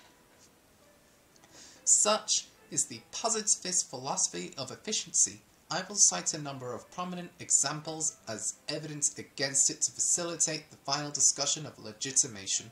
Briefly, the aim is to demonstrate, on the basis of a few exhibits, that the pragmatics of postmodern scientific knowledge per se has little affinity with the quest for performativity. Science does not expand by means of the positivism of efficiency, the opposite is true. Working on a proof means searching for and inventing counterexamples in other words, the unintelligible supporting an argument means looking for a paradox and legitimating with new rules in the games of reasoning. In neither case is efficiency sought for its own sake. It comes sometimes tardily, as an extra when the grant givers finally decide to take an interest in the case. But what never fails to come again and again with every new theory new hypothesis, new statement, or new observation is the question of legitimacy, for it is not a it is not philosophy that asks this question of science, but science that asks it of itself. What is outdated is not asking what is true and what is just, but viewing science as positivistic, relegating it to the status of unlegitimated learning, half-knowledge, as did the German idealists. The question, what is your argument worth, what is your proof worth, is so much a part of the pragmatics of scientific knowledge that is what assures the transformation of the addressee of a given argument and proof into the sender of a new argument and proof, thereby assuring the renewal of scientific discourse and the replacement of each generation of scientists. Science develops, and no one will deny that it develops. By developing this question, and this question, as it develops, leads to the following question, but it's to say, meta question, the question of legitimacy. What is your, what is it worth, worth? I made the point that the striking feature of postmodern scientific knowledge is that the discourse on the rules that validate it is explicitly immanent to it. What was considered at the end of the 19th century to be a loss of legitimacy fall into philosophical pragmatism or logical positivism was only an episode from which knowledge is recovered by including within scientific discourse the discourse on the validation of statements held to be laws. As we have seen, this inclusion is not a simple operation, but gives rise to paradoxes that are taken extremely seriously and to limitations and the scope of knowledge that are in fact changes in its nature. The meta-mathematical research that led to Gödel's theorem is a veritable paradigm of how this change in nature takes place, but the transformation that dynamics has undergone is no less exemplary of the new scientific spirit. It is of particular interest here because it compels us to reconsider a notion that, as we have seen, figures prominently into the discussion of performance, particularly in the domain of social theory the notion of system. The idea of performance implies a highly stable system because it is, is based on the principle of a relation which is, in theory, always calculable between heat and work, hot, hot source and cold source, input and output. This idea comes from thermodynamics it is associated with the notion that the evolution of a system's performance can be predicated if all of the variables are known. The ideal fulfillment of this condition is clearly expressed in Laplace's fiction of the demon. He knows all of the variables determining the state of the universe at a moment t, and can thus predict its state at a moment t dash greater than t. This fiction is sustained by the principle that physical systems, including the system of systems called the universe, follow regular patterns, with the result that their evolution traces a regular path and gives rise to normal, continuous functions, and to futurology. The, the advent of quantum mechanics and atomic, atomic physics has limited the range of applicability of this principle in two ways, the respective implications of which differ in scope.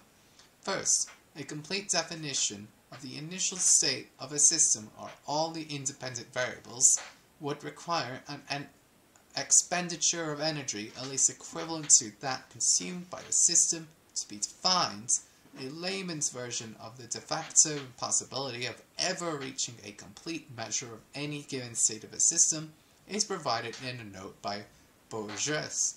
An emperor wishes to have a perfectly accurate map of the, of the empire made.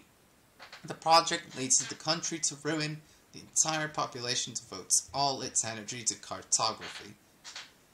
Brillouin's argument leads to the conclusion that the idea or ideology of perfect control over a system which is supposed to improve its performance is inconsistent with respect to the law of contradiction. It is in fact it, in fact, lowers the performance level it claims to raise. This inconsistency explains the weakness of state and socio-economic bureaucracies. They stifle the systems of subsystems they control and asphyxiate themselves in the process. Negative feedback.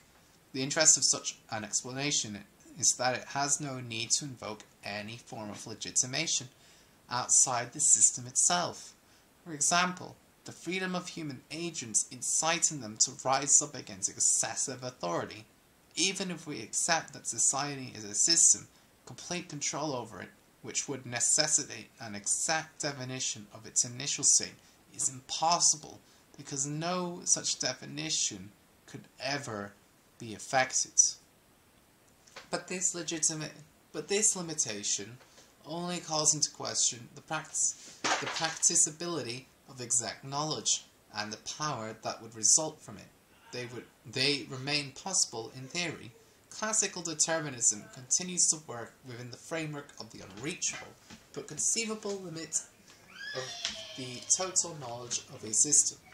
Quantum theory and microphysics requires a far more radical revision of the idea of a continuous and pre predictable path. The quest for precision is not limited by its cost, but by the very nature of matter. It is not true that uncertainty, lack of control, decreases as accuracy goes up. It goes up as well. Jean Perrin offers as an example of this the measurement of the real density, the mass volume quotient, of a given quantity of air contained in a sphere. It varies noticeably when the volume of the sphere is reduced from 100 meters cubed to 1 centimeter cubed. There is very little variation when it is reduced from 1 centimeter cubed to 1 1000 millimeter cubed, although already in this range irregularly occurring variations of the order of a billionth can be observed. As the volume of the sphere decreases, the size of the variations increases. For a volume of one tenth of a cubic micron, the variations are of the order of a thousandth. And for one one hundredth of a cubic micron, they are of the order of one fifth. Further, decreasing the volume brings us to the molecular scale. If the spherule is located in the void between two molecules of air, the real density of the air in it is nil. But about one time in a thousand, the center of the spheroid will fall within a molecule, and the average density is then comparable to what is called the real density of the gas. Reduced to intraatomic dimensions, chances are high that it will be located in the void once again with a density of zero. But one time in a million, its center will fall within a corpuscle or in the nucleus of the atom, and when it does, the density will be several million times greater than that of water. If the spheroid contracts still far further, the average density and the real density will probably soon become nil and remain nil, except in some very rare positions where it will reach values spectacularly higher than those obtained previously.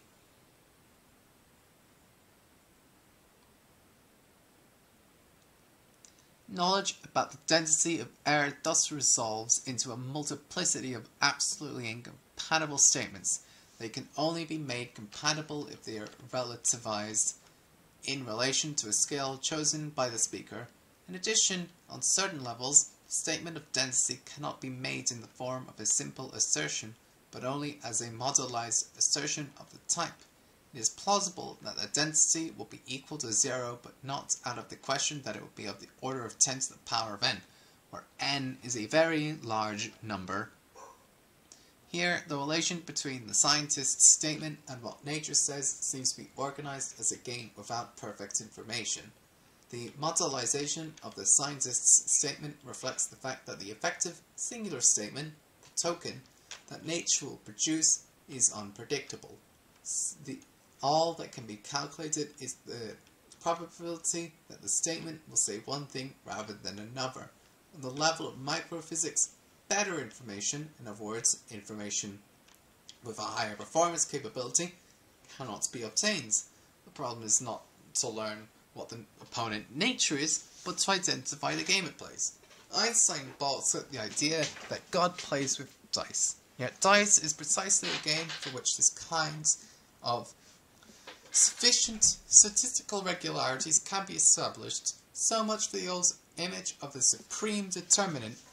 If God played bridge, then the level of primary chance encountered by science could no longer be imputed to the indifference of the die toward which faces up, but would have to be attributed to cunning.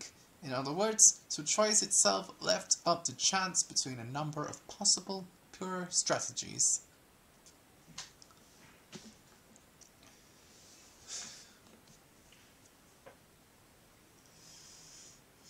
It is generally accepted that nature is an indifferent, not deceptive opponent, and it is upon this basis that the distinction is made between the natural and the human sciences. In pragmatic terms, this means that the natural sciences, nature, is the referent, mute, but as predictable as a die thrown a great number of times, about which the scientists exchange denotative utterances constitute moves that play against one another. The human sciences, on the other hand, the referent man is a participant in the game, one that speaks and develops a strategy, a mixed strategy perhaps, to counter that of the scientist. Here, the kinds of chance with which the scientist is confronted is not object-based or indifferent, but behavioral or strategic. In other words, agonistic.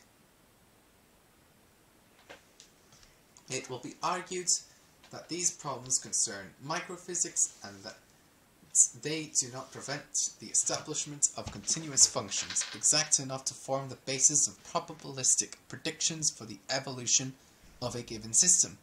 This is the reason in system theorists, who are also the theorists of legitimation by performance, use to try to regain their rights. There is, however, a current in contemporary mathematics that questions the very possibility of precise measurement, and this, thus the prediction of the behavior of objects even on the human scale. Mandelbrot cites a source of the text by a parent discussed above, but he extends the analysis in an unexpected direction. The functions with derivatives, he writes, are the simplest and easiest to work with. They are nevertheless exceptional. Using geometrical language, curves that have no tangent are the rule, and regular curves such as a circle are interesting but quite special. This observation is not just an object for idle curiosity, but is valid for most experimental data. The contours of a flocal of soapy, salinated water present such irregularities that it is impossible for the eye to draw a tangent to any point on its surface. The applicable model here is that of Brownian motion, a well-known property of which is that the vector of the particle's movement from a given point is isotropic. In other words, all possible directions are equally probable. But we run into the same problem on more familiar levels as well. If, for example, we wish to make a precise measurement of the coast of Brittany, the crater-filled surface of the moon, the distribution of stellar matter, the frequency of bursts of interference during a telephone call, turbulence in general, the shape of clouds. In short, the majority of the objects whose outlines and distributions have not undergone regularization at the hands of man. Mandelbrot showed that data of this kind describes curves similar to those of continuous functions for which no derivative exists. A simplified model of this is Koch's curve, it is self-similar and it can be shown that the dimension of self-similarity in which it is constructed is not a whole number but log 4 divided by log 3.